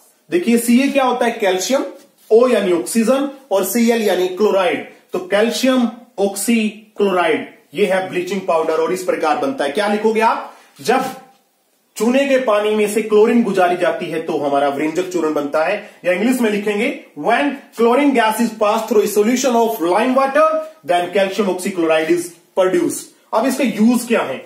देखिए यूज़ मेन इसका ब्लीचिंग का ही है यानी किसी भी चीज़ को रंगने में इसका यूज़ किया जाता है। दूसरा वाटर की ट्रीटमेंट यानी एक तरह से अगर हम बात करें आ, जो आपके वाटर वर्क्स होते हैं जहाँ पर पानी को शुद्ध किया जाता है तो वहाँ पर हम ब्लीचिंग पाउडर को डाल सकते हैं। तीसरा अभी मैं आपको बता देता हूँ बहुत सारे गाँव के अंदर अभी जो कोरोना की वजह से सैनिटाइजर का छिड़काव कर रहे हैं। तो उसमें क्या करते हैं आमतौर पर one K G bleaching powder एक ड्रम के अंदर डालिए उसे मिक्सअप कर लीजिए और उसे छिड़काव कर सकते हैं हम। तो वहाँ पर भी एक तरह से सैनिटाइजर का यूज़ भी कर, आ, करता है। तो ये था ब्लीचिंग पाउडर नेक्स्ट हम लेते हैं यहाँ पर सेकंड है बेकिंग सोडा यूज़ करेंगे और कैसे बनता है? बस सिंपल इसका नाम है sodium hydrogen carbonate baking soda sodium hydrogen carbonate इसे खाने का सोडा भी कहते हैं, क्योंकि खाना बनाते हैं ना जो, उसमें इसका यूज़ होता है। अगर आपने कोई भी डबल रोटी बनानी है, इडली बनानी है, आपने पकोड़े बनाने हैं ब्रेड बनाने हैं तो बेकिंग पाउडर के बगैर पॉसिबल नहीं, क्योंकि वो चीज़ फूलेगी नहीं। तो बेकिंग पाउडर कैसे बनता है और इसके यूज़ क्या है, वही हमने डिस्कस करना है। तो प्यारे विद्यार्थियों, ये चार चीज़ें इसमें यूज़ होती हैं। एक तो नमक, एक वाटर एक कार्बन डाइऑक्साइड और चौथी चीज़ जो यूज़ होती है वो है अमोनिया ये आपने ध्यान रखना है। नमक, यानी common salt water carbon dioxide और अमोनिया इन चार चीज़ों के यूज़ से बनता है बेकिंग सोडा बेकिंग सोडा यानी फार्मूला क्या है उसका? एन थ्री और इसमें एक चीज़ और बनती है जिसका नाम है अमोनियम क्लोराइड। यानी एक और बाई प्रोडक्ट बनता है बेकिंग पाउडर के साथ, जिसका नाम है अमोनियम क्लोराइड। तो ये तो था किससे बनता है और कैसे बनता है। अब इसके यूज़। तो यूज़ की अगर हम बात करें, एक तो यूज़ मैंने आपको बता दिया किसी भी चीज़ को फुलाने में, ब्रेड बनाने में, इडली बनाने में, डबल रोटी बनाने में, जो भी चीज़ है, उसको फुलाने के लिए इसका यूज़ किया जाता है। क्यों किया जाता है, मैं आपको बताऊँगा। क्योंकि जब हम बेकिंग पाउडर डालते हैं तो इसमें से कार्बन डाइऑक्साइड गैस बाहर निकलती है, और उस गैस के कारण कोई भी चीज़ फूल जाती है। दूसरा इसका यूज़ है फायर एक्सटिंग्यूशर में, यानी जो आग बुझाने वाले आपने सिलेंडर देखे होंगे आपके स्कूल में बसेस में कैंपस में हॉस्पिटल्स में तो उसके अंदर भी इसका यूज़ किया जाता है। ये आपने ध्यान रखना है। तीसरा एंटेसिड एंटेसिड क्या होता है? अभी मैंने बताया था, अगर पेट में अमल बन रहा है, थोड़ा सा बेकिंग पाउडर ले लीजिए। तो वहाँ पर ये काम करेगा। उसे कहते हैं एंटेसिड क्योंकि वो उसको उदासीन कर देगा तो ये मैंने आपको पहले ही बता दिया है। तो ये था बेकिंग सोडा अब आगे बढ़ते हैं। धावन सोडा यानी सोडियम कार्बोनेट कपड़े धोने का सोडा भाई। बिल्कुल सिंपल सोडियम कार्बोनेट आमतौर पर इसके साथ 10 मोलिकुल वाटर के रहते हैं तो हम वो भी साथ में लिख देते हैं। बनता कैसे ये? अभी बताया था मैंने आपको कि जो बेकिंग पाउडर है उसको गर्म करते हैं तो कौन सी गैस निकलती है? बताया था ना कार्बन डाइऑक्साइड तो जब उसको गर्म करते हैं तो एक तो ये बनता है हमारा सोडियम कार्बोनेट और साथ में कार्बन डाइऑक्साइड गैस निकलती है। वाटर भी रिलीज़ होता है। बैलेंस करने के लिए यहाँ पर दो लगा देता हूँ। तो ये सोडियम हाइड्रोजन कार्बोनेट को, ये हीट का निशान होता है ट्रायंगल इसको गर्म करने पर सोडियम कार्बोनेट यानी धावन सोडा बनता है। इसमें 10 मोलिक्यूल वाटर के होते हैं तो वो आप इसको ऐड कर दीजिए 10 मोलिक्यूल वाटर तो ये रिएक्शन हमारी कंप्लीट हो जाएगी। क्योंकि बिना वाटर के ये काम करता ही नहीं है धावन सोडा। तो टेन मोलिक्यूल इसमें वोटर के रहते हैं तो टेन मोलिक्यूल्स हमने वोटर के इसमें जोड़ दिए। अब इसका यूज़ क्या है, ये सभी को मालूम है। यानी कपड़े धोने में यूज़ किया जाता है, और खारे पानी की ट्रीटमेंट में इसका यूज़ किया जाता है। बोरोसिल कांच वगैरह बनाने में भी इसका यूज़ किया जाता है। कांच बनाने में भी, याद रख लीजिएगा। अब हम चौथे साइट पे चलते हैं, जिसका नाम है पीओपी यानी plaster of Paris POP plaster of Paris plaster of Paris Paris का प्लास्टर ये सभी को मालूम है कि जब भी किसी की हड्डी टूटती है तो प्लास्टर ऑफ़ पेरिस चढ़ जाता है उसके ऊपर। तो ये कैसे बनता है? ये बनता है gypsum C S O four two S two O इसे हम बोलते हैं जिप्सम कैल्शियम सल्फेट डाइहाइड्रेट इसे हम बोलते हैं जिप्सम जिप्सम को जब 373 कैल्विन पर हीट किया जाता है, तीन कैलविन पर तो बनता है हमारा plaster of Paris C S O four dot half H two O आधा एच टू ओ रहता है दो में से, और one and half H two O उड़ जाता है, जब हम इसको हीट करते हैं 373 कैलविन पर। और इसको हम बोलते हैं प्लास्टर ऑफ़ पेरिस यूज़ क्या है इसके, बताइए? टूटी हड्डियों को जोड़ने के लिए, जब आपका फ्रैक्चर हो जाए तो उसको जोड़ने के लिए इसका यूज़ किया जाता है खिलौने बनाने में मूर्तियाँ बनाने में और वॉल सीलिंग यानी कि छत की जो सजावट है आजकल वहाँ पर भी पीओपी की, की जाती है। तो काफ़ी सारे इसके यूज़ हैं आप लिख सकते हैं। तो मोस्टली हमारा कंप्लीट हो गया। यहाँ पर एक चीज़ मिसिंग है वो मैं आपको बता देता हूँ। रिएक्शंस में अगर हम बात करें तो हमारा एक रिएक्शन होती है। उसके बारे में थोड़ा पढ़ लीजिए। हमने उसको डिस्कस नहीं किया। एक्सोथर्मिक रिएक्शन और एक होती है एंडोथर्मिक रिएक्शन ये थोड़ा सा और पढ़ लीजिए। ऊष्माक्षेपी और ऊष्मा शोषी ये हमारा फ़र्स्ट चैप्टर में था मेनली लेकिन आपको ये भी, इनको भी जानना ज़रूरी है। ऊष्माक्षेपी एक्जोथर्मिक यानी जिसमें से हीट बाहर निकलती हो। वो अभिक्रियाएँ जिनमें ऊष्मा बाहर निकलती है, उसे हम बोलते हैं एक्जोथर्मिक और वो अभिक्रियाएँ जिनमें उष्मा ग्रहण की जाती है हीट गेन की जाती है, उसे हम बोलते हैं उष्मा शोषी अभिक्रियाएँ। एग्ज़ाम्पल देना है तो मैं आपको दे देता हूँ। जैसे आपने देखा चूने में पानी मिलाते हैं। तो हीट क्या होती है, प्यारे विद्यार्थियों? जब चूने का पानी बनता है तो हीट क्या होती है? बाहर निकलती है ना? तो हीट बाहर निकलती है तो उसे हम क्या बोलते हैं? एक्सोथर्मिक और इसका उल्टा जब हम चूने के पत्थर को गर्म करते हैं तो हमें हीट देनी पड़ती है चूना बनाने के लिए। यानी इसमें हीट क्या हुआ? देनी पड़ी। तो ये हो गया हमारा उष्मा शोषी, और इसमें हीट बाहर निकली तो ये हमारा हो गया उष्माक्षेपी यानी एक्जोथर्मिक। आप सांस का छोड़ना क्या ये भी बता दीजिए संवसन कौन सी अभिक्रिया है? ये वाली है ये वाली? ये वाली है, क्योंकि इसमें भी उष्मा क्या होती है? आपके शरीर से बाहर निकलती है। तो ये भी उष्माक्षेपीय अभिक्रियाएँ कहलाती हैं। तो ये हमारा चैप्टर नंबर टू कंप्लीट है। प्यारे विद्यार्थियों, कल मिलेंगे एक बार फिर से। Chapter number three metals and non metals तो आज के लिए इतना ही। पढ़ते रहिए घर पर, कोरोना को हराइए और भारत को इस महामारी से निजात दिलाइए। लगे रहिए हमारे साथ। थैंक यू वेरी मच जय हिंद। प्यारे विद्यार्थियों, आज हम डिस्कस करेंगे मेटल्स एंड नॉन मेटल्स देखिए, हम सभी पिछले तकरीबन पंद्रह दिनों से इस कोरोना जैसी महामारी से जूझ रहे हैं। तो आप विद्यार्थी होने के नाते क्या कर सकते हैं? आपका यह दायित्व है कि आप घर पर बैठ करके इस कोरोना जैसी महामारी को हराएँ स्टे एट होम और साथ साथ में अपना काम करें, पढ़ाई करें, तब जाकर के आप सच्चे देश के सच्चे सेवक कहलाएँगे। तो आज हम स्टार्ट कर रहे हैं chapter number three metals and non metals यानी धातु और अधातु। तो प्यारे विद्यार्थियों, सबसे पहले एक डिफरेंस ही कर देते हैं कि मेटल्स और नॉन मेटल्स में क्या अंतर है।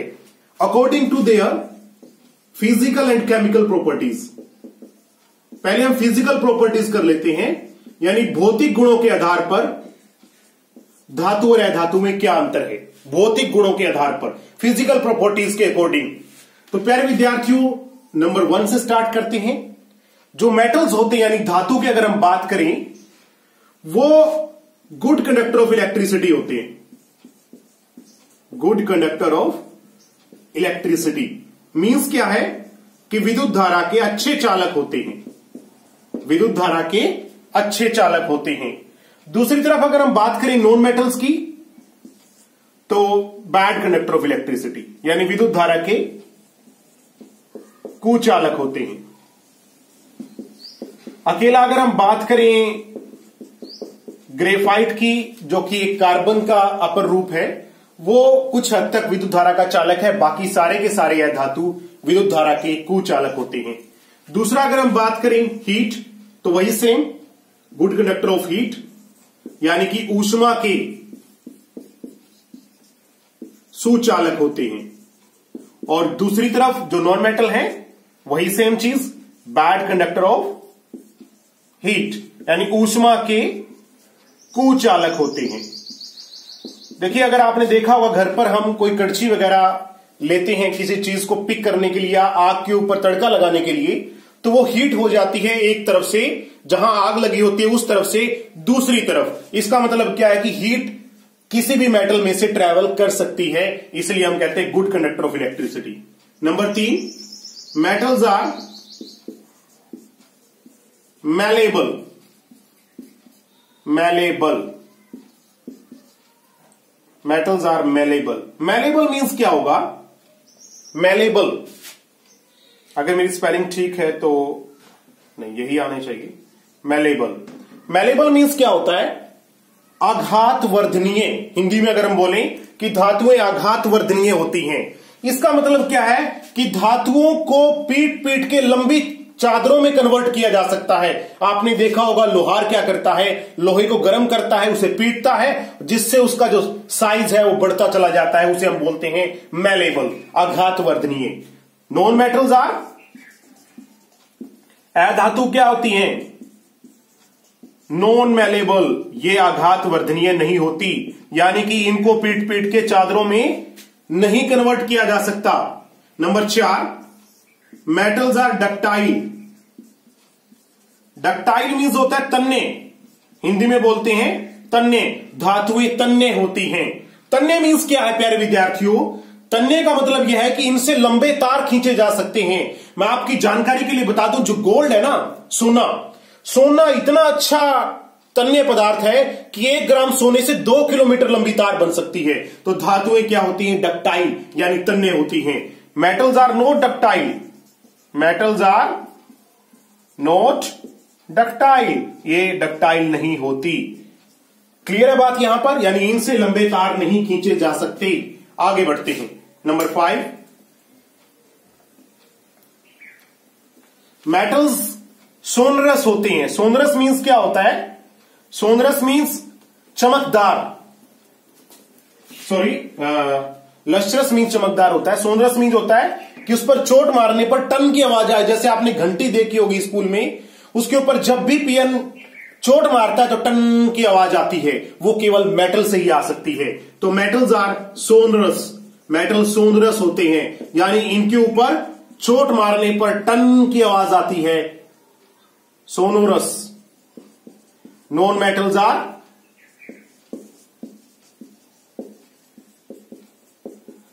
not sonorous. इनमें से टन की आवाज़ नहीं आती।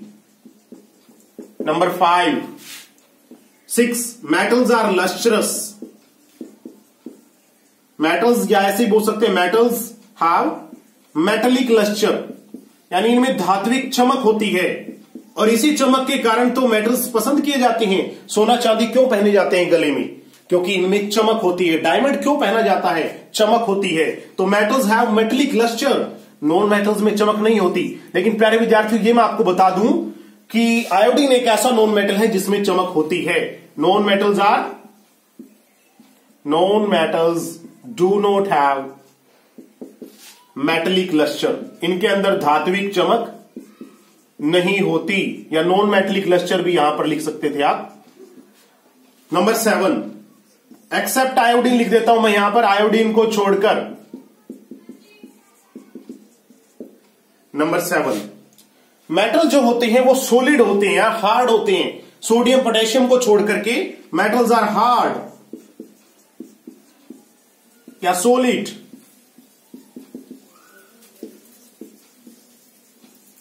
except sodium potassium while mercury is liquid जो पारा होता है ना वो लिक्विड है, बाकी सभी सॉलिड होते हैं। ये आपने ध्यान रखना है। क्वेश्चन अगर पेपर में आता है, वो कौन सी धातु है जो लिक्विड है? यानी तरल है, द्रव है तो वो मरकरी है H G H G means mercury और उधर नॉन मेटल की बात करें तो mostly non metals are gases ज़्यादातर नॉन मेटल क्या होते हैं? गैस होते हैं। गैस होते हैं। क्या होते हैं? गैस एक्सेप्ट ब्रोमीन ब्रोमीन को छोड़ करके। ब्रोमीन को छोड़कर बाकी सारे लगभग क्या होते हैं?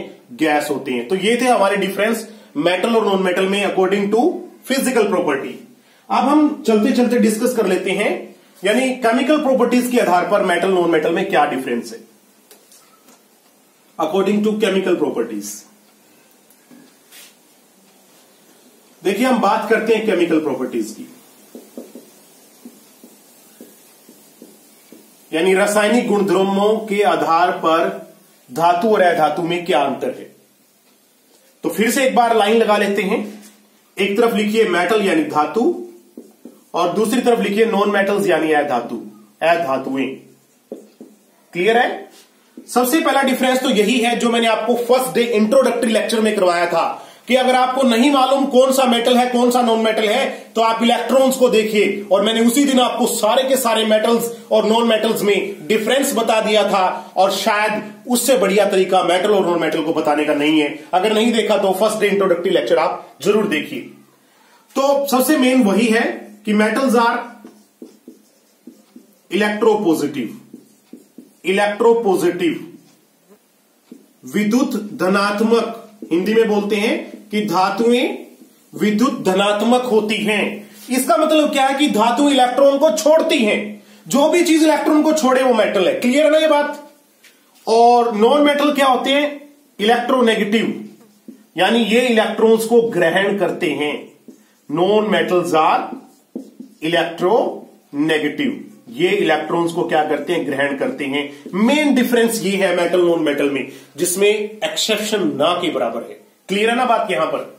Number two metal react with oxygen metal oxygen से अभिक्रिया करके, मैं हिंदी और इंग्लिश दोनों बोल रहा हूँ, क्योंकि दोनों मीडियम के जो स्टूडेंट्स हैं, वो पढ़ रहे होते हैं, लिख रहा हूँ इंग्लिश में और ट्रांसलेशन साथ साथ हिंदी में। तो हिंदी मीडियम वाले हिंदी की बात को सुनिए और लिखे, और इंग्लिश मीडियम वाले आप इसको एज इट इज़ भी उतार सकते हैं। Metals react with oxygen to form metallic oxide तो जो धातुएँ होती हैं, वो ऑक्सीजन से अभिक्रिया करके धात्विक ऑक्साइड बनाती हैं। दूसरी तरफ़ नॉन मेटल्स भी ऑक्सीजन से अभिक्रिया करते हैं, लेकिन वो नॉन मेटलिक ऑक्साइड यानी अधात्विक ऑक्साइड बनाते हैं। अधातुएँ ऑक्सीजन से अभिक्रिया करके अधात्विक ऑक्साइड बनाती हैं।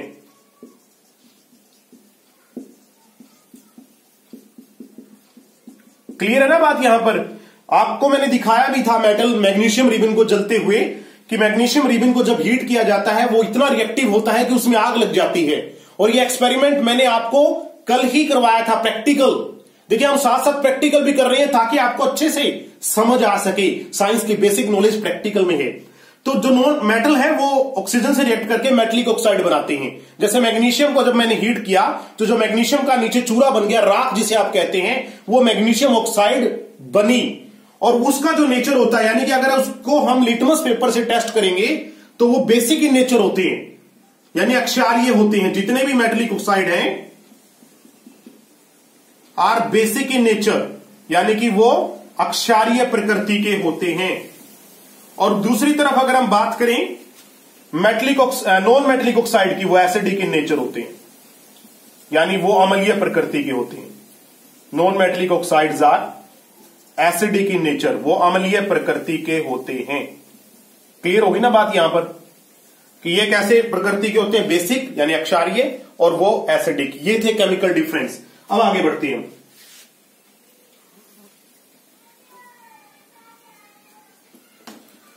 केमिकल प्रॉपर्टीज़ ऑफ़ मेटल हालाँकि हमने डिस्कस कर लिया है अभी डिफरेंस में, लेकिन फिर भी आपको बताना ज़रूरी है कि कौन कौन सी प्रॉपर्टीज़ मेटल करते हैं। धातुओं के रासायनिक गुणधर्म पहला तो मैंने अभी बताया अभी आपको कि ऑक्सीजन से अभिक्रिया करके क्या बनाते हैं? मेटलिक ऑक्साइड धात्विक ऑक्साइड तो धातु ऑक्सीजन से अभिक्रिया करके धात्विक ऑक्साइड बनाती हैं। वेरी सिंपल है, कोई दिक्कत नहीं है। पहली प्रॉपर्टी क्या करा रहा हूँ? रिएक्शन विद ऑक्सीजन ऑक्सीजन से अभिक्रिया। तो आपने क्या लिखना है? Metals react with oxygen to form metallic oxide जो भी डिफरेंस में लिखा था। यानी धातुएँ ऑक्सीजन से अभिक्रिया करके धात्विक ऑक्साइड बनाती हैं। जैसे सीयू प्लस ओ टू तो क्या बनेगा? कॉपर ऑक्साइड बैलेंस कर लेते हैं यहाँ पर। और ये बैलेंस करने के लिए यहाँ पर फिर टू लगाना पड़ेगा तो मैं यहाँ पर फोर लगा देता हूँ। सीयू प्लस ओ टू क्या बन गया यहाँ पर? कॉपर ऑक्साइड या आप सी यू ओ भी लिख सकते हैं यहाँ पर। दिस विल ऑल्सो फॉर्म तो कोई भी मेटल है, इसी प्रकार मैग्नीशियम प्लस ऑक्सीजन क्या बनेगा प्यारे विद्यार्थियों? मैग्नीशियम ऑक्साइड कोई भी एग्जांपल आप लिख सकते हैं, यहाँ पर मैं टू लगा रहा हूँ बैलेंस करने के लिए। तो कोई भी मेटल है, वो ऑक्सीजन से रिएक्ट करके मेटलिक ऑक्साइड बनाती है, यानी धात्विक ऑक्साइड बनाती है। आगे बढ़ते हैं। तो ये जो ऑक्साइड है, मैंने अभी बताया आपको, जो मेटल के ऑक्साइड होते हैं उनका नेचर कैसा होता है? बेसिक इन नेचर होता है। लेकिन कुछ एक ऑक्साइड ऐसे हैं, जिनका नेचर एम्फोटेरिक है। एम्फोटेरिक को हिंदी में कहते हैं उभयधर्मी इसको समझिए। क्वेश्चन नेक्स्ट है what are amphoteric oxide give example उभयधर्मी oxide किसे कहते हैं? उभय धर्मी ऑक्साइड किसे कहते हैं? उदाहरण दीजिए। ये क्वेश्चन इंपॉर्टेंट है। तो नोट कर लीजिए। एम्फोटेरिक ऑक्साइड किसे कहते हैं? जो मेटलिक ऑक्साइड हैं, कुछ ऐसे होते हैं मेटलिक ऑक्साइड जो एसिड से रिएक्ट भी करते हैं, यानी अमल से भी, और बेस यानी अक्षार से भी। उन्हें बोलते हैं हम एम्फोटेरिक ऑक्साइड जैसे एल्यूमिनियम ऑक्साइड को ले लीजिए। ये एल्यूमिनियम ऑक्साइड है। ये अमल से भी व्यवहार प्रदर्शित करता है, और अक्षार से भी, यानी बेस से भी। तो ऐसे ऑक्साइड को हम बोलते हैं उभयधर्मी ऑक्साइड यानी दो oxide which react with acid as well as base clear ना बात यहाँ पर? तो ये बनाएँगे क्या? पिछले चैप्टर में ही पढ़ा था, जब भी मेटलिक ऑक्साइड किसी एसिड या बेस से रिएक्ट करते हैं तो वो क्या बनाते हैं? साल्ट यानी L three plus H two O इसको बैलेंस करेंगे। दूसरी तरफ़, ये भी साल्ट बनेगा सोडियम एल्यूमिनेट कहते हैं। तो दोनों ही साल्ट बने। बैलेंस इसको कर लेते हैं हम एक बार। यहाँ पर आप छह लगाइए और यहाँ पर आप लगाइए टू तो ये बैलेंस हो गया। दूसरी तरफ़ इसको भी बैलेंस कर लेते हैं हम। यहाँ पर आप टू लगाइए और इधर भी टू अब ये बैलेंस है दोनों। नाम इनका लिखना चाहें तो ये एल्यूमिनियम क्लोराइड है और ये है सोडियम एल्यूमिनेट क्लियर है ना बात यहाँ पर? कि वो ऑक्साइड जो एसिड से भी और बेस यानी अक्षार से भी अभिक्रिया करते हैं, उन्हें हम बोलते हैं उभयधर्मी ऑक्साइड क्लियर है ना बात यहाँ पर? तो नेक्स्ट प्रॉपर्टी की तरफ़ चलते हैं।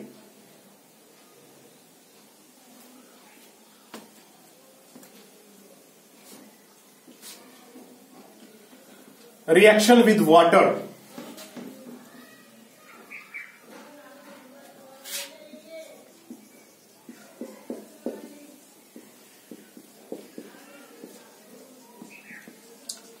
तो वाटर से बात करें तो कुछ तो मेटल ऐसे हैं, कुछ धातु ऐसे हैं। पानी डालो कि उनमें आग लग जाती है, जैसे सोडियम और पोटेशियम ये बहुत ज़्यादा रिएक्टिव है। रिएक्टिव यानी क्रियाशील। इतने रिएक्टिव हैं कि पानी अगर इनके ऊपर डाला तो इनके अंदर आग लग जाती है। इतने हाईली रिएक्टिव हैं। तो ऐसे जो आ, मेटल हैं वो वाटर से रिएक्ट करके क्या बनाते हैं? सोडियम ले लीजिए आप पोटेशियम ले लीजिए। ये वाटर से रिएक्ट करके क्या बनाएँगे? इनके जो ऑक्साइड हैं वो वाटर से रिएक्ट करके क्या बनाएँगे बताइए? अगर हम बात करें पोटेशियम की और सोडियम की तो ये दोनों ही वाटर से रिएक्ट करके हाइड्रोक्साइड बनाते हैं और हाईली रिएक्टिव है दोनों ही, दोनों जब वाटर से रिएक्ट करते हैं तो आग लग जाती है दोनों में और साथ में प्रोड्यूस होती है इनके अंदर हाइड्रोजन गैस ये भी क्वेश्चन आ जाता है कि कौन सी गैस प्रोड्यूस होती है। जब भी मेटल वाटर से रिएक्ट करते हैं तो वो हाइड्रोजन गैस प्रोड्यूस होती है। ये आपने ध्यान रखना है इसमें। क्लियर है ना बात यहाँ पर? आप इसको बैलेंस कर सकते हैं। बैलेंस करने के लिए यहाँ पर टू लगाइए, इधर टू और इधर टू इसी प्रकार इसको भी अगर बैलेंस करना है तो ये बैलेंस हो गया। तो आपने क्या लिखना है? मेटल वाटर से रिएक्ट करके मेटल हाइड्रोक्साइड यानी धातु जल से अभिक्रिया करके धात्विक हाइड्रोक्साइड बनाते हैं। लेकिन सारे नहीं। कुछ एक तो वाटर से डायरेक्टली अभिक्रिया करते ही नहीं। वो स्टीम से अभिक्रिया करते हैं। जैसे अगर हम आयरन की बात करें या एल्यूमिनियम की बात करें, लोहा वाटर के बजाय स्टीम यानी गैस लिख सकते हो यहाँ पर आप। तो उससे अभिक्रिया करता है और यह बनाता है ऑक्साइड ना कि हाइड्रोक्साइड यह आपने ध्यान रखना है कि सारे के सारे ऐसे हैं जो हाइड्रोक्साइड नहीं बनाते, कुछ एक हैं जो लो रिएक्टिव हैं, जैसे आयरन है, जो कम क्रियाशील है, वो वाटर से अभिक्रिया करके ऑक्साइड बनाता है, ना कि हाइड्रोक्साइड ये आपने थोड़ा ध्यान रखना है। इसको भी बैलेंस कर लेते हैं। यहाँ थ्री लगाइए, यहाँ फोर लगाइए। और इधर इस तरफ़ हम क्या करेंगे? एफ़ थ्री ओ फोर लिख लीजिए, ferric oxide F three O four तो ये बैलेंस है अभी यहाँ पर, यहाँ पे फोर आएगा तो कुछ मेटल ऐसे हैं जो डायरेक्ट वाटर से अभिक्रिया नहीं करते, लेकिन स्टीम से करते हैं, वो हाइड्रोक्साइड ना बना करके ऑक्साइड बनाते हैं। इज़ इट क्लियर ये आपने ध्यान रखना है। आगे बढ़ते हैं। Metal react with acid metal acid से अभिक्रिया करके, यानी अम्लों से अभिक्रिया करके क्या बनाते हैं?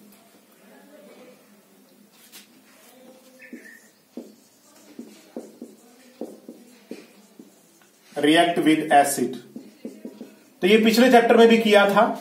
सोडियम है, जैसे आप एचसीएल से अभिक्रिया करेंगे, क्या बनेगा प्यारे विद्यार्थियों? साल्ट बनेगा ना? और कौन सी गैस रिलीज़ होगी? हाइड्रोजन तो वेरी सिंपल कि धातुएँ अम्लों से अभिक्रिया करके लवण बनाते हैं। इंग्लिश में लिखोगे तो metal react with acid to form salt and hydrogen gas is produce आप इसको बैलेंस करने के लिए यहाँ पे दो लगाइए।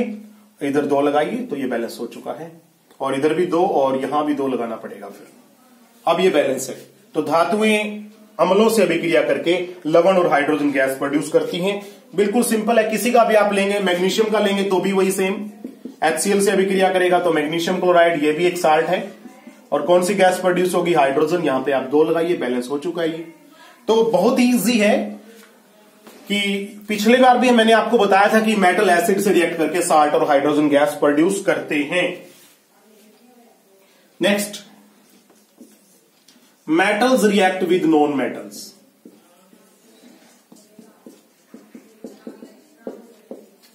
ये काफ़ी अच्छा है क्वेश्चन और इसे हम एक और नाम भी देते हैं। ये पेपर में आता है, आयनिक बॉन्ड किसे कहते हैं? आयनिक आबंध। आयनिक आबंध। या हिंदी में आता है तो ये पूछते हैं, क्या होता है जब धातुएँ अधातुओं से अभिक्रिया करती हैं? What will happen when metal react with non metal उसे हम बोलते हैं आयनिक बॉन्ड। होता क्या है?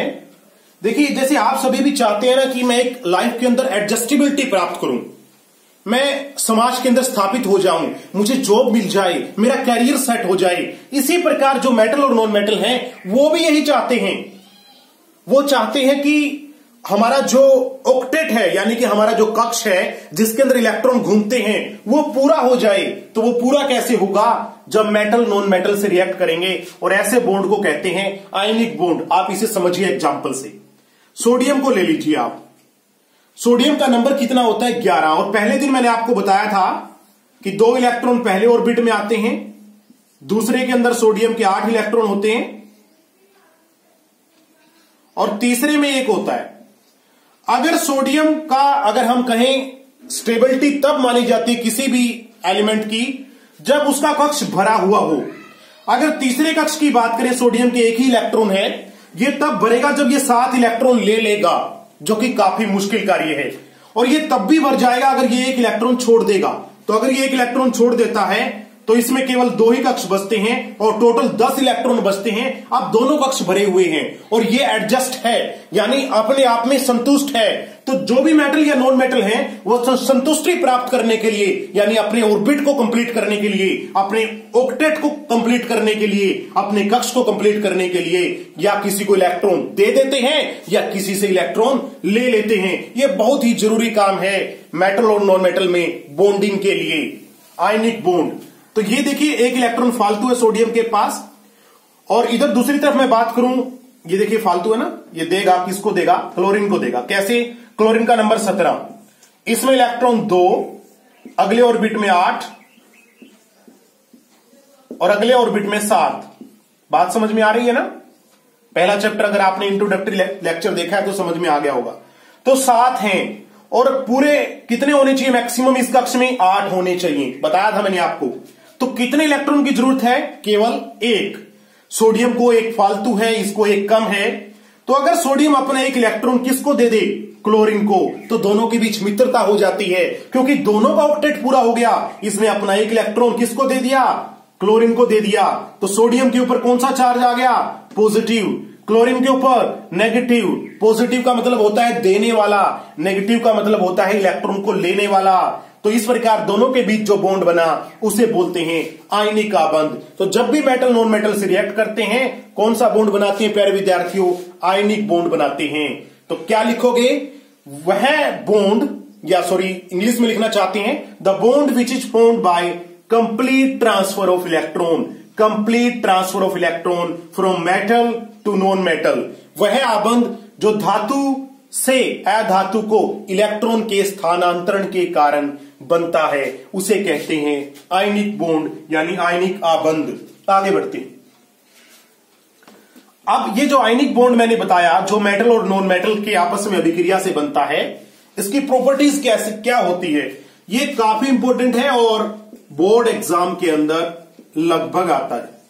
Properties of ionic bond ionic आबंध की क्या विशेषताएँ होती हैं। क्लियर है ना बात? पहली बात तो दे आर सोलिड ये ठोस होते हैं। नमक को आपने देखा होगा सोलिड होता है। नंबर दो high melting and boiling point इनका जो गलनाक है और कवथनाक है, यानी कि जितने टेम्परेचर पर पिघलते हैं और जितने टेम्परेचर पर उबलते हैं, वो काफ़ी ज़्यादा होता है दूसरों के कंपैरिजन में। कारण कि ये बॉन्ड काफ़ी मज़बूत होता है और इसको तोड़ना काफ़ी मुश्किल होता है। इसलिए इनका मेल्टिंग और बॉइलिंग पॉइंट क्या होता है? हाई होता है। तीसरा, ये जल में घुलनशील होते हैं। Soluble in water they are soluble in water और नंबर चार they are good conductor of electricity यानी जो भी जिनके बीच में आयनिक बॉन्ड होगा, उनमें से इलेक्ट्रिसिटी पास यानी विद्युत धारा के चालक होंगे। गुड कंडक्टर ऑफ़ इलेक्ट्रिसिटी ये विद्युत धारा के अच्छे चालक होंगे। तो ये चार प्रॉपर्टीज़ हैं। याद कर लीजिए नोट कर लीजिए नोटबुक के अंदर वेरी वेरी इंपॉर्टेंट है आयनिक बॉन्ड की प्रॉपर्टीज़ अब आगे बढ़ते हैं। नेक्स्ट टॉपिक की तरफ़। एक और इंपॉर्टेंट क्वेश्चन है इस चैप्टर का। वो है एक्वारेजिया एक्वारेजिया ये एक्वारेजिया क्या है? हिंदी में भी इसको एक्वारेजिया ही बोलते हैं।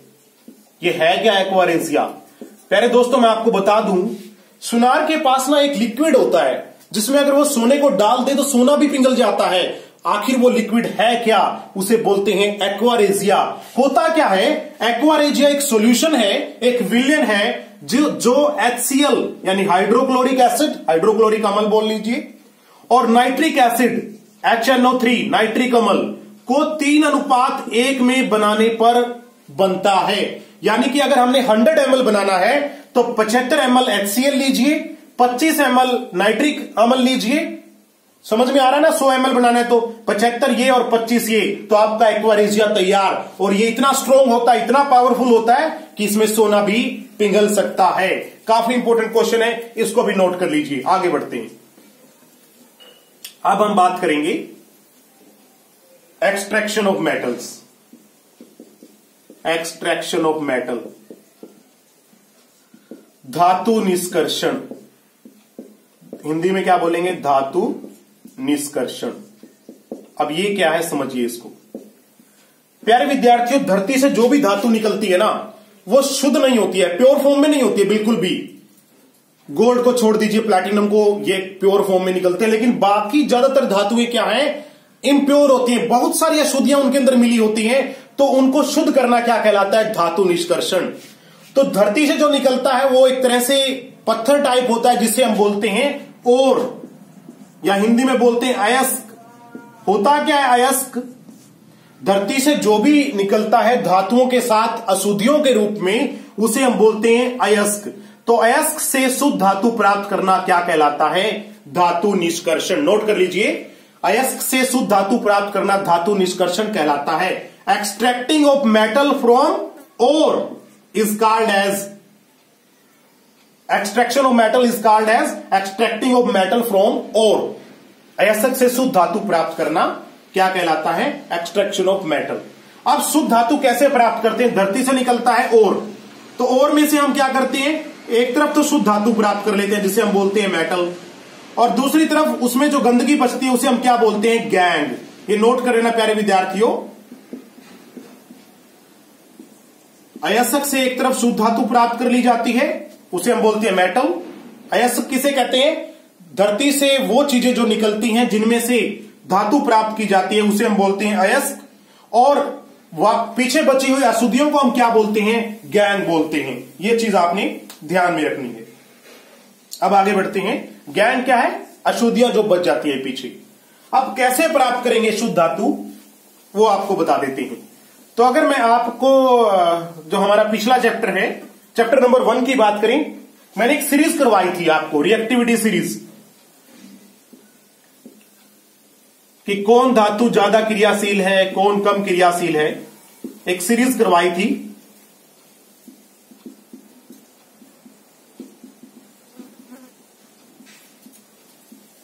ये सीरीज़ करवाई थी। इसको मैंने नाम दिया था रिएक्टिविटी सीरीज़ यानी कि सभी धातुएँ एक जैसी नहीं होती। कई तो बहुत क्रियाशील होती हैं और कई बहुत कम क्रियाशील होती हैं। यहाँ पर अगर हम बात करें, लिथियम, पोटेशियम, बैरियम, सोडियम, ये वेरी रिएक्टिव हैं। यानी कि बहुत अधिक क्रियाशील हैं। इतनी ज़्यादा कि अगर हम इन्हें पानी में भी डाल दें तो आग लग जाती है।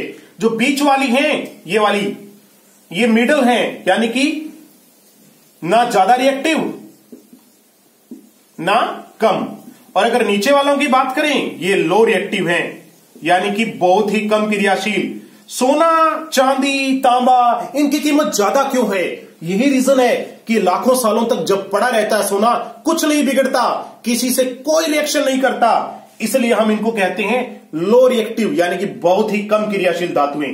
तो अगर हमें शुद्ध करना है गोल्ड तो मैंने बता दिया ना कि जब शुद्ध ही है, नीचे से निकला तब भी शुद्ध है तो उसको शुद्ध करने की आवश्यकता नहीं है। लेकिन ये तो बहुत क्रियाशील हैं, इनको कैसे शुद्ध करेंगे? मिडल वाले को कैसे शुद्ध करेंगे?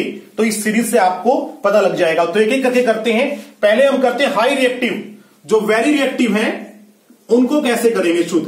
एक्सट्रैक्शन ऑफ़ और या metals high reactive metals high reactive metals जो हाई रिएक्टिव हैं, उनको कैसे शुद्ध करेंगे या उनसे कैसे हम अशुद्धियों को दूर करेंगे? तो प्यारे विद्यार्थियों, इनको समझने के लिए एक सिंपल सा सिद्धांत मैं आपको बता देता हूँ। अगर एक पर्सन है, वो आम ज़िंदगी से भटक जाता है सुपोज कीजिए। सोसाइटी से दूर हो जाता है और गलत कामों में लग जाता है। अगर वो मान लो छोटी मोटी चोरी करता है तो उसको पनिशमेंट मिल जाती है उसी के अकॉर्डिंग तो लो रिएक्टिव को शुद्ध करना काफ़ी आसान है, क्योंकि ये किसी से अभिक्रिया नहीं करते, बिल्कुल शांत रहते हैं। वो शांत लोग हमेशा शुद्ध रहते हैं, और बच्चा भी देखा होगा, आपने क्लास में अगर शरारती है ना बहुत ज़्यादा तो वो आमतौर पर छोटी मोटी चोट खा लेता है। वही होता है हाई रिएक्टिव के साथ। ये बहुत ज़्यादा शरारती हैं। ऑक्सीजन से मिले तो ऑक्सीजन से अभिक्रिया कर जाते हैं। अभिक्रिया मीन लड़ाई ना। जैसे शरारती बच्चा है, किसी से भी लड़ाई कर लेता है। तो इसी प्रकार जो हाई रिएक्टिव है, वो किसी से भी लड़ाई कर लेते हैं। ऑक्सीजन से तो ऑक्सीजन से कर जाएँगे वाटर है तो वाटर से रिएक्शन कर जाएँगे सल्फ़र है सल्फ़र से कर जाएँगे क्लोरीन है क्लोरीन से। किसी को नहीं छोड़ते, सभी से रिएक्शन कर जाते हैं तो इनको सुधारना मुश्किल है। तो और जो बीच वाले हैं, ये किसी से करते हैं, किसी से नहीं, थोड़ा आसान है। और नीचे वाले ज़्यादातर प्योर ही होते हैं। तो पहले हम किनको करते हैं? नीचे वालों को कर लेते हैं। या ऊपर वालों को, चलो ऊपर वालों को कर लेते हैं। एग्ज़ाम्पल देता हूँ मैं। ये जो हाई रिएक्टिव है, मान लो एक ऐसा पर्सन है, बहुत रिएक्टिव है, किसी का भी सिर फोड़ देगा, किसी से भी लड़ाई कर लेगा, या इतना रिएक्टिव है, अगर मान लो सपोज़ करो उसने किसी का मर्डर कर दिया तो क्या होगा? आपको मालूम है ना? फांसी होगी।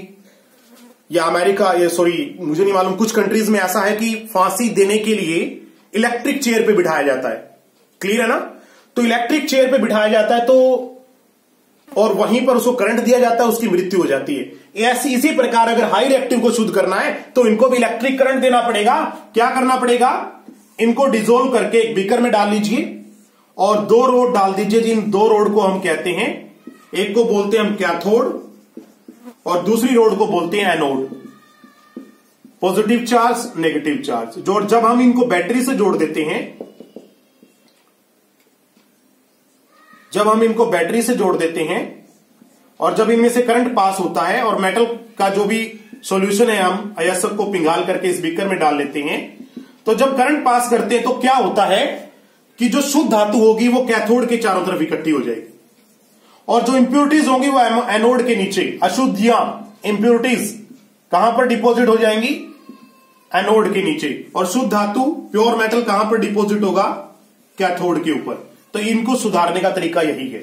इसे हम क्या बोलते हैं? इलेक्ट्रोलिसिस तो अगर आपका पेपर में आता है कि हाई रिएक्टिव मेटल्स को कैसे शुद्ध किया जा सकता है तो आपने बताना है कि इनकी हम इलेक्ट्रोलिसिस करते हैं। तो इलेक्ट्रोलिसिस में क्या होता है, इसके जो भी अयस्क है, उसको पिघाल करके बीकर में डाल दिया जाता है और एक तरफ़ कैथोड और एक तरफ़ एनोड दो रोड लगा दी जाती है।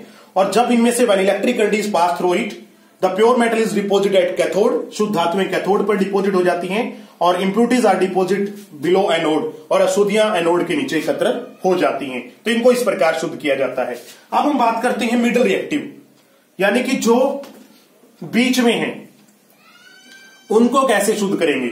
मैग्नीशियम है, जिंक है, कैल्शियम है।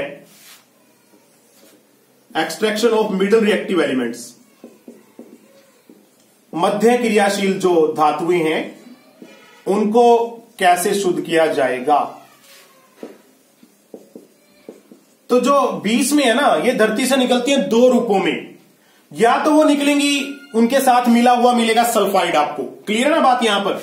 जैसे मान लो कैल्शियम है, कैल्शियम धरती से निकलेगा तो या तो सल्फाइड के रूप में निकलेगा, या फिर निकलेगा कार्बोनेट के रूप में। ये अशुद्धियाँ इनके साथ मोस्टली होती हैं। तो अगर वो धरती से निकलता है सल्फाइड के रूप में तो उसकी हम करवाते हैं रोस्टिंग जिसे हिंदी में बोलते हैं भर्जन। भर्जन करवाएँगे भाई इनका तो। क्लियर है बात यहाँ पर? और अगर वो निकला कार्बोनेट के रूप में तो उसका हम करवाएँगे कैल्सिनेशन। जिसे हिंदी में बोलते हैं निस्तापन। ये डिफरेंस भी आ जाता है कि भर्जन और निस्तापन में क्या अंतर है। भर्जन और निस्तापन में क्या अंतर है? भर्जन क्या होता है कि जो सल्फाइड ओर्स है, यानी जिनके साथ सल्फ़र है, सल्फाइड एस्को को ऑक्सीजन की उपस्थिति में गर्म करना। और जो कार्बोनेट अयस्क है, जिनके साथ कार्बोनेट है, उनको ऑक्सीजन की अनुपस्थिति में गर्म करना एब्सेंस ऑफ़ ऑक्सीजन इसको हीट किया हमने ऑक्सीजन की उपस्थिति में, और इसको हीट किया हमने ऑक्सीजन की अनुपस्थिति में। समझ में आ गया ना? लिखोगे कैसे? Sulphide ores are burnt in the presence of oxygen to form oxide तो इनसे क्या बन जाता है, प्यारे विद्यार्थियों? ऑक्साइड बन जाता है। क्लियर है ना बात यहाँ पर? बैलेंस करने के लिए यहाँ पर टू लगाइए, इधर भी टू लगा लीजिए, और इधर भी आप टू लगा लीजिए। ठीक है ना बात यहाँ पर? यहाँ पे और इसी प्रकार जो कार्बोनेट एस्टक हैं, उनको हम हीट करेंगे तो इनका भी ऑक्साइड बनता है। इनको कैसे लिखेंगे? कार्बोनेट एस्कों को ऑक्सीजन की उपस्थिति में गर्म करने पर उन्हें ऑक्साइड रूप में बदलना, निस्तापन कहलाता है calcination the burning of carbonate ores in the absence of oxygen to convert into oxide form is called as calcination clear है बात यहाँ पर?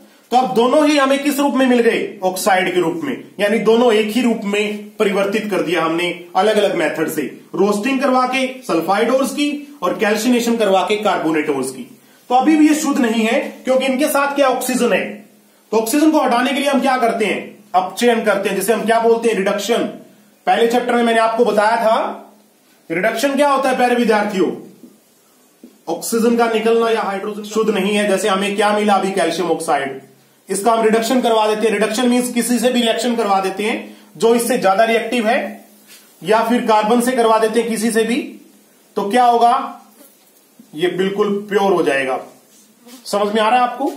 ये बिल्कुल क्या हो जाएगा? प्योर हो जाएगा। या हाई रिएक्टिव से भी करवा सकते हैं। जैसे यहाँ पर लिथियम से करवा देंगे तो लिथियम भी हाई रिएक्टिव है।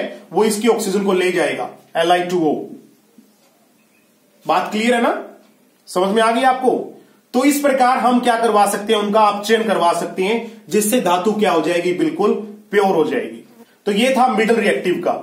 पहले हमने क्या करवाया? अगर सल्फाइड है तो रोस्टिंग कार्बोनेट है तो कैल्सिनेशन और उसके बाद स्टेप नंबर टू रिडक्शन यानी अपचयन। तो अब हम शुद्ध धातु प्राप्त कर सकते हैं। और जो लो रिएक्टिव है, ज़्यादातर शुद्ध ही होते हैं।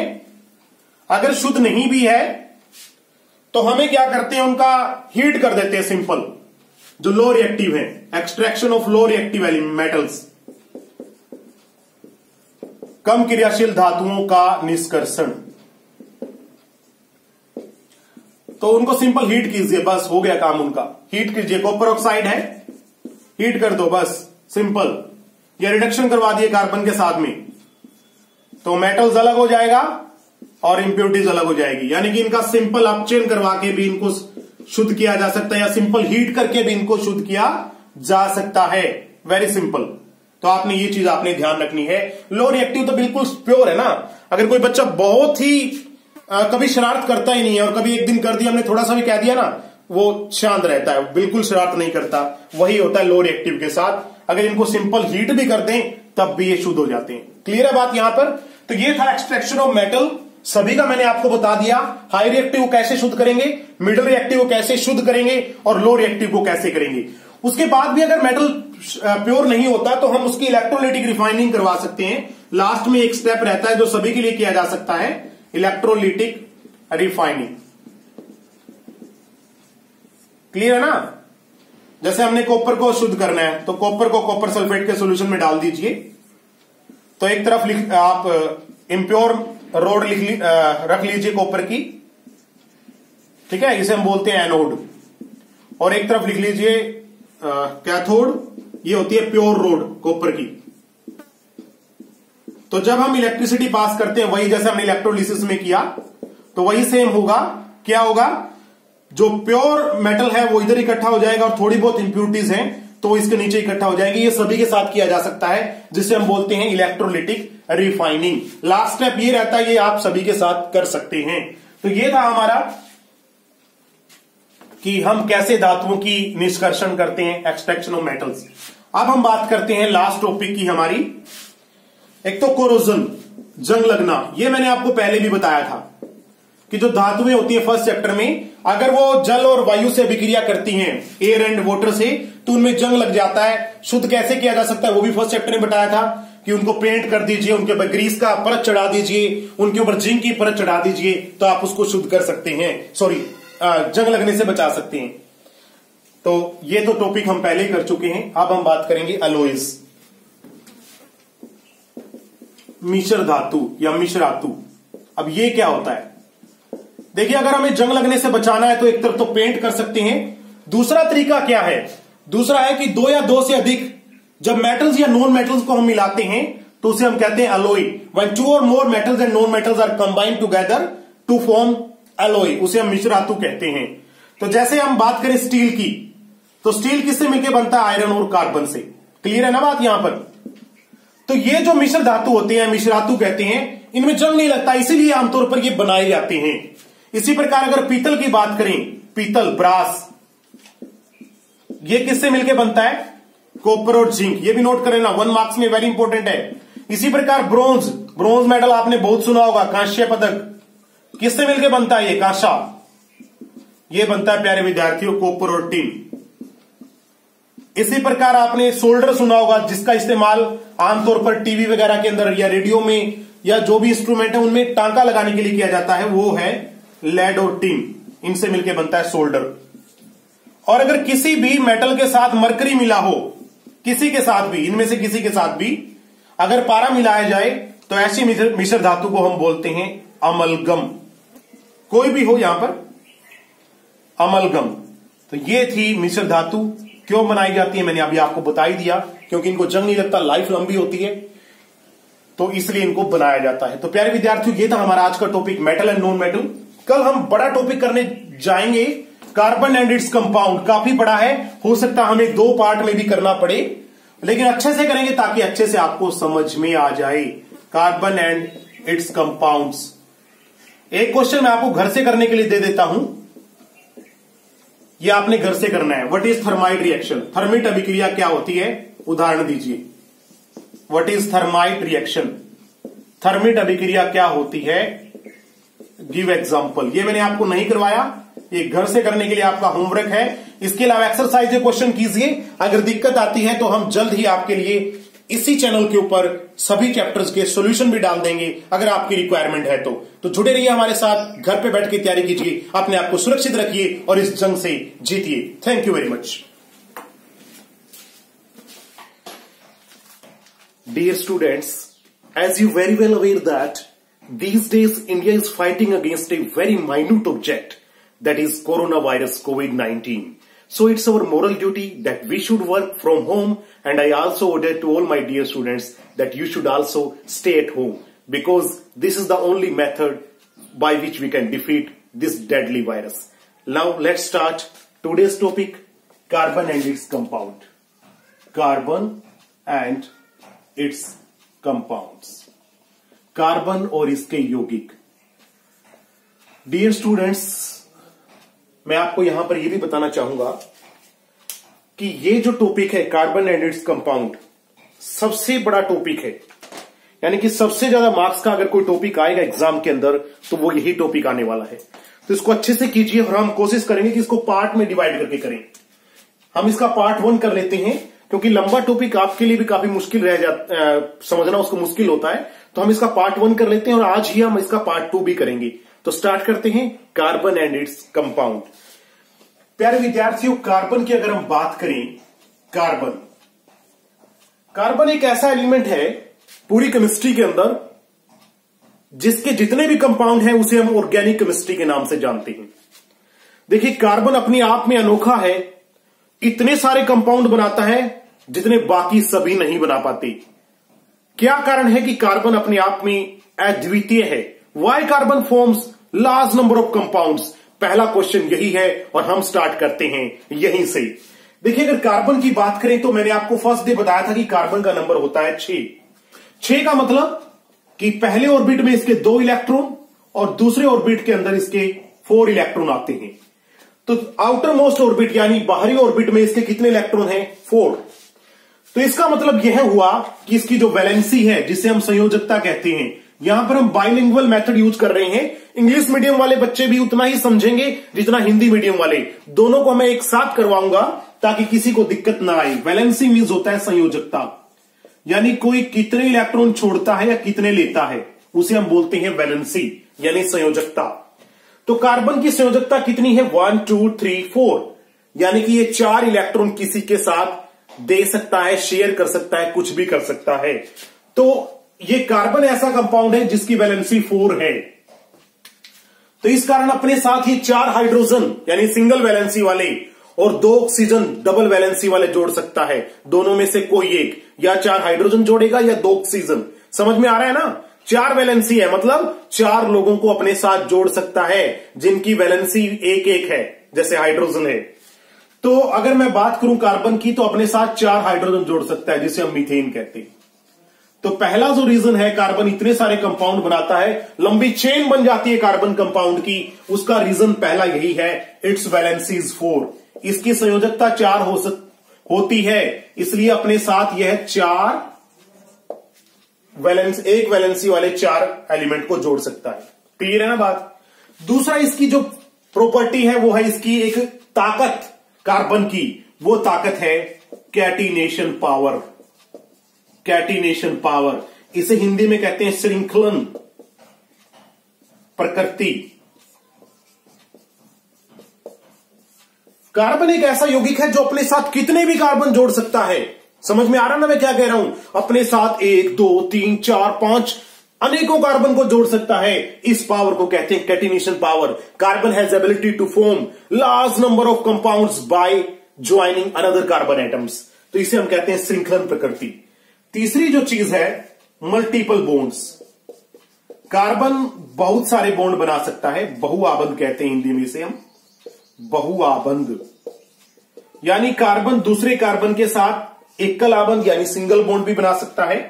डबल बॉन्ड यानी द्विआबंद भी बना सकता है और ट्रिपल बॉन्ड यानी त्रिआबंद भी बना सकता है। ये तीन विशेषताएँ हैं कार्बन की, जिसके कारण कार्बन की बहुत लंबी लाइन लगी हुई है कंपाउंड्स की। अनेकों कंपाउंड्स बनाए हैं। अकेले कार्बन की अपनी केमिस्ट्री है, जिसे हम ऑर्गेनिक केमिस्ट्री के नाम से जानते हैं। वही टॉपिक हम करने जा रहे हैं आज कार्बन एंड इट्स कंपाउंड पहला क्वेश्चन यही था कि कार्बन इतने सारे यौगिक क्यों बनाता है? आंसर आपके सामने है। अब हम बात करते हैं कार्बन के कितने रूप हैं, जिसे हम कहते हैं एलोट्रोपी एलोट्रोपी हिंदी में हम बोलते हैं अपर रूपता अपर रूपता क्या होता है एलोट्रोपी किसी भी एलिमेंट का एक से ज़्यादा रूप में पाया जाना, उसे कहते हैं एलोट्रोपी समझ में आ रहा है ना? Occurrence of any element in more than one form किसी भी तत्व का एक से ज़्यादा रूपों में पाया जाना अपर रूपता कहलाता है। मैं दोनों मीडियम को एक साथ कर रहा हूँ। बिल्कुल दिक्कत नहीं आनी चाहिए आपको। तो कार्बन तीन रूपों में पाया जाता है धरती के ऊपर। एक है डायमंड यानी हीरा। दूसरा है ग्रेफाइट ग्रेफाइट तो आप सभी जानते हैं पेंसिल का सिक्का जो होता है वो ग्रेफाइट ही होता है। इंग्लिश में भी लिख देता हूँ मैं। ग्रेफाइट और तीसरा है फुलेरीन फुलेरीन तो कार्बन कितने रूपों में पाया जाता है? तीन रूपों में। फुलेरीन। क्लियर है बात यहाँ पर? हीरा, ग्रेफाइट और फुलेरीन। कितने रूपों में पाया जाता है? तीन रूपों में।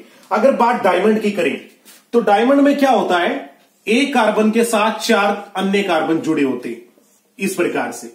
जबकि ग्रेफाइट के अंदर एक कार्बन के साथ केवल तीन कार्बन जुड़े होते हैं और एक इलेक्ट्रॉन, यानी कुल चार जुड़ सकते हैं ना?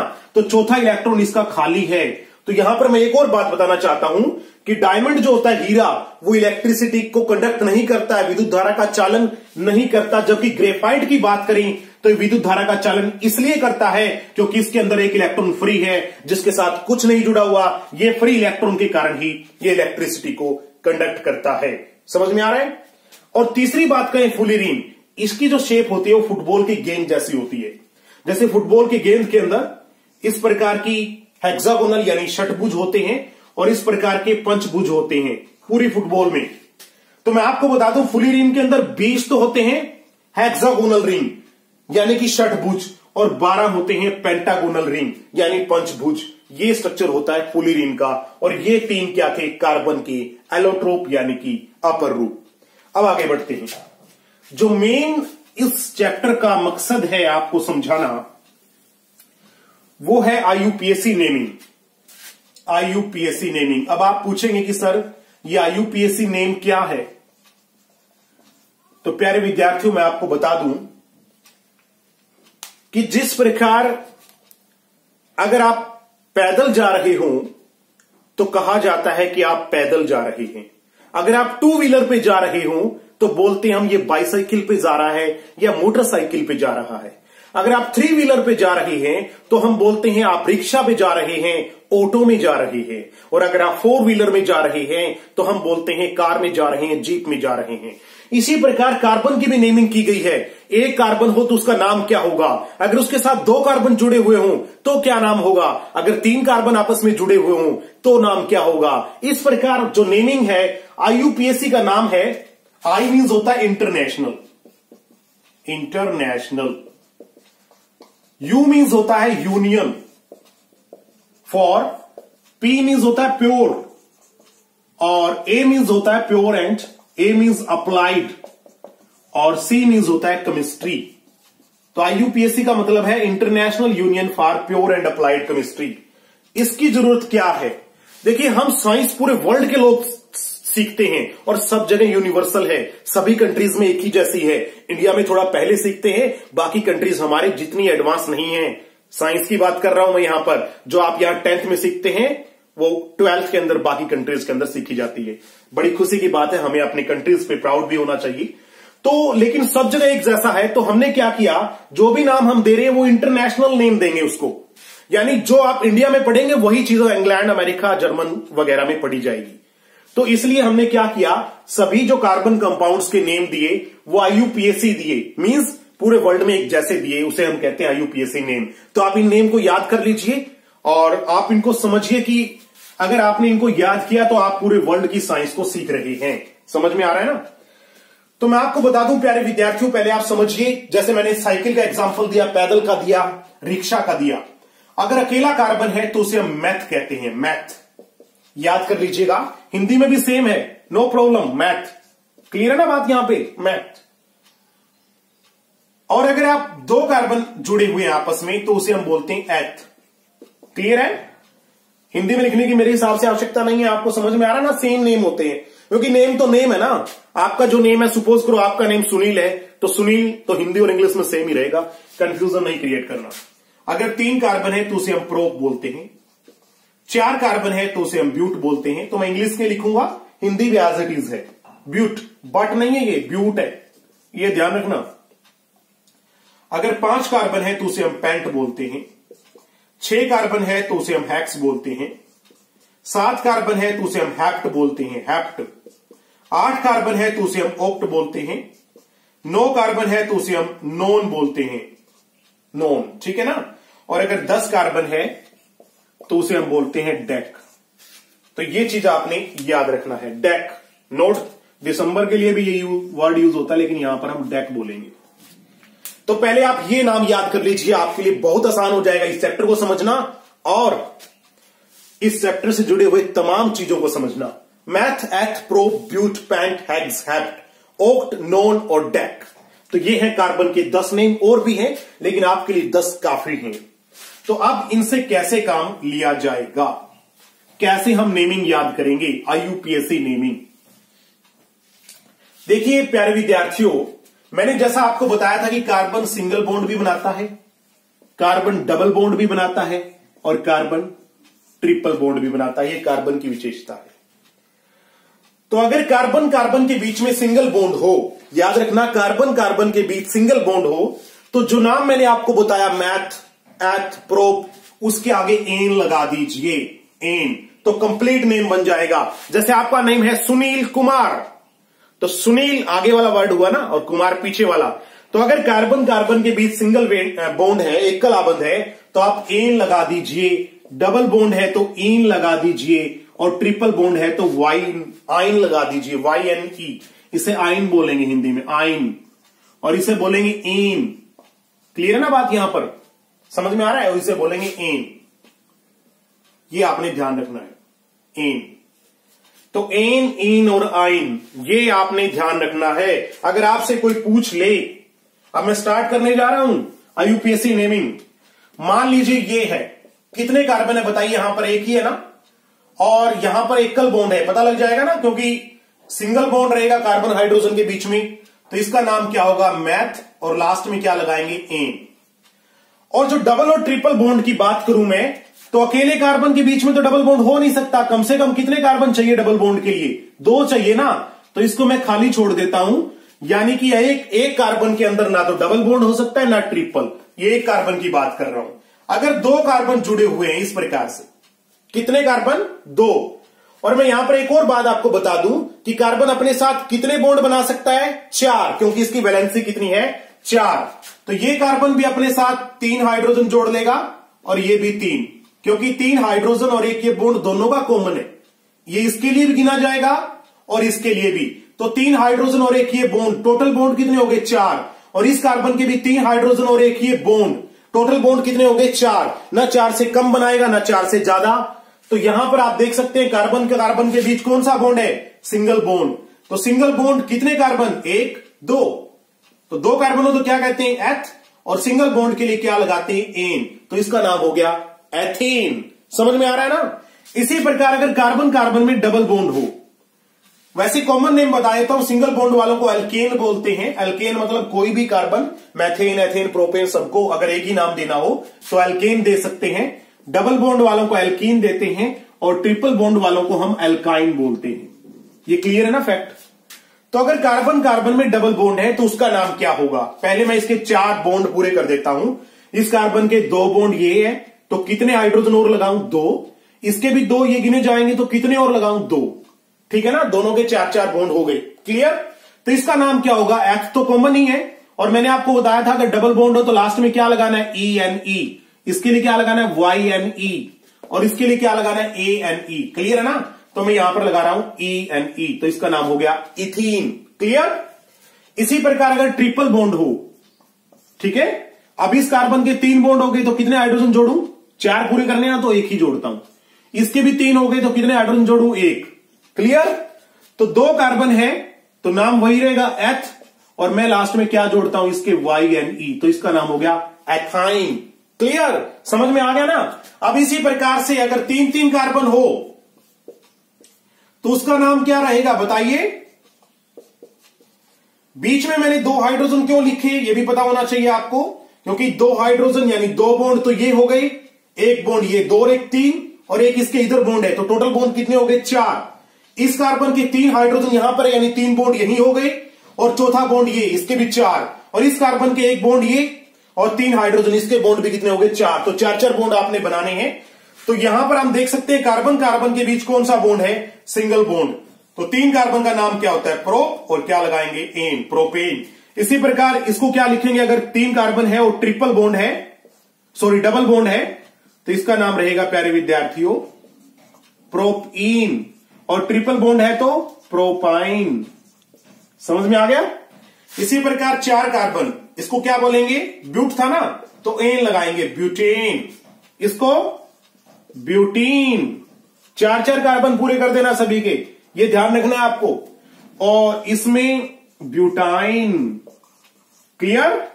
पाँच कार्बन हो तो इसे बोलेंगे पेंटेन। इसे बोलेंगे पेंटीन।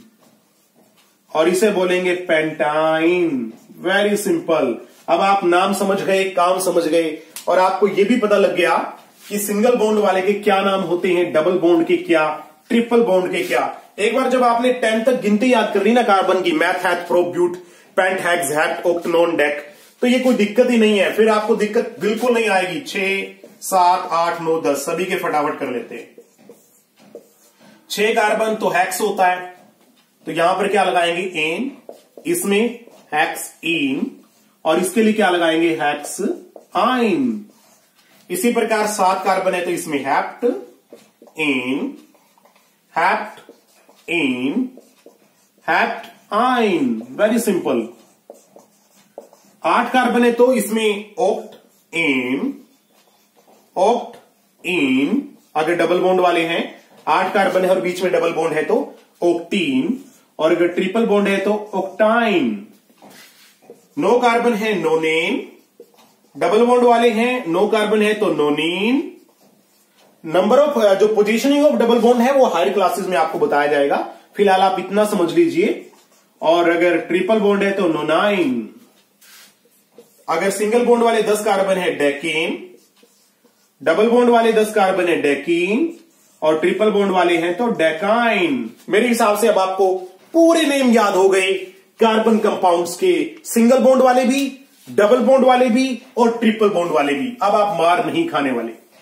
अब मैं आपको दूसरी चीज़ बताने जा रहा हूँ, जिसे हम बोलते हैं functional group functional group functional group Hindi में हम इसको बोलते हैं प्रक्रियात्मक समूह. प्रक्रियात्मक समूह. ये क्या चीज़ है? देखिए, जो नाम मैंने आपको बताए, जैसे मान लो किसी का नाम है सुनील कुमार. समझ में आ गया? अगर वो सुनील कुमार देसवाल है, या सुनील कुमार सुपोज कीजिए वो भाटिया है, सुनील कुमार वो देश पांडे है, कुछ भी है तो जो तीसरी चीज़ जुड़ेगी, उसे हम कहते हैं फंक्शनल ग्रुप यानी कि वो ग्रुप जो कार्बन कार्बन श्रृंखला के साथ जुड़कर, उसका नाम और उसकी प्रॉपर्टी दोनों बदल देते हैं। Those group which are attach to carbon chain and change their properties as well as their name are called as functional group समझ में आ गया? तो चार पाँच फंक्शनल ग्रुप हैं वो जल्दी से मैं आपको बता देता हूँ। कार्बन के साथ क्या क्या जुड़ जा जुड़ सकते हैं जिससे उनका नाम थोड़ा बहुत बदल जाता है। तो पहला फंक्शनल ग्रुप मैं करवा रहा हूँ ओ OH, इसे हम बोलते हैं अल्कोहल हिंदी में लिखूं या इंग्लिश में? इंग्लिश में लिख देता हूँ। अल्कोहल दूसरा फंक्शनल ग्रुप है सीएचओ इसे हम बोलते हैं एल्डिहाइड सेम है, हिंदी इंग्लिश में कोई दिक्कत नहीं आएगी। तीसरा फंक्शनल ग्रुप है सी डबल ओ एच इसे हम बोलते हैं कार्बोक्सिलिक हिंदी में अमल बोलेंगे और इंग्लिश में एसिड कार्बोक्सिलिक एसिड और चौथा फंक्शनल ग्रुप है कीटोन इस प्रकार लिख सकते हो आप इसको सी डबल बोन ओ कई जगह ऐसा भी लिखा मिलेगा तो कंफ्यूज नहीं होना, एक ही बात है। कार्बन ऑक्सीजन में हमेशा डबल बोन्ड ही रहता है तो कंफ्यूज नहीं होना, दोनों एक ही बात है। तो ये चार फंक्शनल ग्रुप भी आपको पता होने चाहिए। अब इनका रोल क्या है? जब भी ये कार्बन के साथ जुड़ेंगे, जैसे मान लो एक कार्बन है, और इसके साथ ओ OH जुड़ गया तो इसके नाम में क्या परिवर्तन आया? पहले इसका नाम क्या था? एक कार्बन होता तो इसका नाम होता मीथेन होता ना? क्लियर है ना? अभी बताया था आपको। और जब ओ OH जुड़ गया तो लास्ट का ई कट के ओल लग जाएगा, बस बात खत्म। तो इसका नाम हो गया मैथेनोल क्या नाम हो गया इसका? मैथेनोल तो ये याद रखना आपको, ये एक तरह से सफिक्स है। हिंदी के अंदर जो परते होते हैं ना, परते समझ लीजिए सफिक्स इंग्लिश वाले, कि लास्ट का ई काट के अगर अल्कोहल जुड़ा हुआ है तो आपने ओल लगाना है। अगर एल्डिहाइड जुड़ा हुआ है तो आपने एल लगाना है। कार्बोक्सिलिक एसिड जुड़ा हुआ है तो आपने लगाना है ओइक एसिड या हिंदी में ओइक कमल कह सकते हैं। और अगर कीटोन जुड़ा हुआ है तो आपने ओ एन ई लगाना है। हिंदी में इसका जो प्रोनाउंसिएशन है, वो ओन आएगा, ना कि वन ये ध्यान रखना आपने ओन क्लियर है बात यहाँ पर? तो ये बिल्कुल सिंपल है। अब मुझे नहीं लगता कि कोई दिक्कत आएगी। अब जैसे मैं आपको बताता हूँ कार्बन गिनो, और जितने कार्बन हो, साथ में ये लगा दो बस। जैसे मान लो ये है। गिनना कार्बन कितने यहाँ पर? गिनो। एक कार्बन ये है, एक ये है। कितने हो गए? दो। तो दो कार्बन का नाम क्या बताया था मैंने आपको? एथेन बताया था। बताया था ना? एथेन। तो लास्ट का ई काट दो और ये जोड़ दो। एथेनॉल। हो गया, बात खत्म। इसी प्रकार अगर एल्डिहाइड जुड़ा हुआ है, देखो ये है। एग्ज़ाम्पल दे रहा हूँ मैं यहाँ पे एल्डिहाइड का। C H three C H two C H O अब इसमें खुद में भी कार्बन है। तो ये भी काउंटिंग में आएगा। तो गिनो कार्बन कितने? एक, दो, तीन। तो तीन कार्बन का नाम मैंने क्या बताया था आपको? प्रोपेन तो लास्ट का ही काट के एल जोड़ना है तो इसका नाम क्या हो गया? प्रोपेनल। प्रोपेनल। प्रोपेनल। नाल नहीं कहना, प्रोपेनल। क्लियर है? नॉल तो अल्कोहल के लिए उसके लिए बोला जाएगा नॉल एथेनॉल प्रोपेनॉल ब्यूटेनॉल तो नल बोलेंगे सिंपल प्रोपेनल क्लियर अगर इसी प्रकार देखिए कोई एग्जांपल देता हूँ इसी का मैं। C H three C H two C H two C H two C H two carbon गिन लो पहले। एक, दो, तीन, चार, पाँच। ये पांचवा कार्बन यहाँ है ना? ये देखिए। तो पाँच कार्बन का नाम क्या बताया था मैंने? प्रोपेन। लास्ट में क्या जुड़ा हुआ है? सीएचओ सीएचओ के लिए एल लास्ट का ई काट के क्या लगाना होता है? ए एल तो इसका नाम हो गया प्रोपे सॉरी पाँच कार्बन है ना? पेंटेन तो लास्ट का ई काट के ए एल लगा दिया तो इसका नाम हो गया पेंटेनल क्लियर इसी प्रकार अगला एग्जांपल ले लेते हैं। ये देखिए यहाँ पर देखिए क्या जुड़ा हुआ है। ये जुड़ा हुआ है। इसका नाम है कार्बोक्सिलिक एसिड। इसके लिए क्या करते हैं? ई काट के ओइक एसिड जोड़ते हैं। बिल्कुल सिंपल। कार्बन गिन लीजिए। एक, दो, तीन। तो तीन कार्बन का नाम होता है प्रोपेन। लास्ट का ई काट देते हैं। ये काट दिया मैंने और लगा दिया ओइक एसिड। तो इसका नाम क्या हो गया? Propanoic acid. बिल्कुल सिंपल। चार हो तो ब्यूटेनोइक एसिड, पाँच है तो पेंटेनोइक एसिड। कार्बन गिन लो, लास्ट का ई काट दो और ओइक एसिड लगा दो। बिल्कुल सिंपल। अब बात करते हैं कीटोन की। ये इन सभी से अलग है। कीटोन, नंबर चार। कीटोन। नंबर चार जो है वो कीटोन है। ये अलग क्यों है? क्योंकि कीटोन के लिए कम से कम तीन कार्बन होने चाहिए। कीटोन जो है ये देखिए कीटोन का जो सिंबल है, वो है सी डबल बॉन्ड ओ या इसको सिंपल सीओ भी लिख सकते हैं। तो कीटोन का रूल क्या है? कि ये बीच में आता है। समझ में आ रहा है? बीच में। यानी कि कम से कम एक कार्बन इधर होना चाहिए और कम से कम एक इधर। वो कीटोन होगा। अगर ये बीच में ये सिंबल है, दो भी हो सकते हैं। दो दो दो इधर, एक इधर, ये भी हो सकता है, या एक इधर, दो इधर, ये भी हो सकता है, या दो इधर दो इधर, ये भी हो सकता है। लेकिन कम से कम तीन कार्बन होने चाहिए। क्लियर है ना बात यहाँ पर? यानी कि मैथेन नोन एथेनोन कुछ नहीं होता। सीधा ही प्रोप से शुरू होगा, यानी तीन कार्बन से शुरू होगा। चार वाला भी हो सकता है, जैसे ये देखिए, चार कार्बन है, ये भी कीटोन है। पाँच कार्बन है, ये भी कीटोन है। तो ये देखिए, ये भी कीटोन है। तो कम से कम तीन होने चाहिए। तो इसका नाम क्या होगा? तीन कार्बन का नाम क्या होता है, बताइए। प्रोपेन होता है ना? और इसके लिए मैंने क्या बताया था? ई काट के ओन लगाना है। ओ एन ई ओन बोलते हैं, इसको वन नहीं बोलते। तो इसका नाम क्या हो गया? प्रोपेनोन प्रोपेनोन तो चार कार्बन वाले का क्या होगा बताओ? ब्यूटेन प्लस ओन क्या बन गया? ब्यूटेनोन पाँच वाले का क्या होगा? पेंटेन प्लस ओन क्या बनेगा? पेंटेनोन तो ये थे हमारे फंक्शनल ग्रुप बिल्कुल सिंपल है, कोई दिक्कत नहीं। तो मेरे हिसाब से आपको आईयूपीएससी नेमिंग टेंथ क्लास तक के लेवल की तो आ ही गई होगी। अब मैं बताता हूँ नेक्स्ट टॉपिक चलते हम। उसके बाद हम रिएक्शंस पार्ट टू में करेंगे। आज ही हम इसका पार्ट टू भी करेंगे कार्बन एंड इस कंपाउंड का। तो अब मैं एक और क्वेश्चन लेता हूँ। What are saturated and non saturated carbon compounds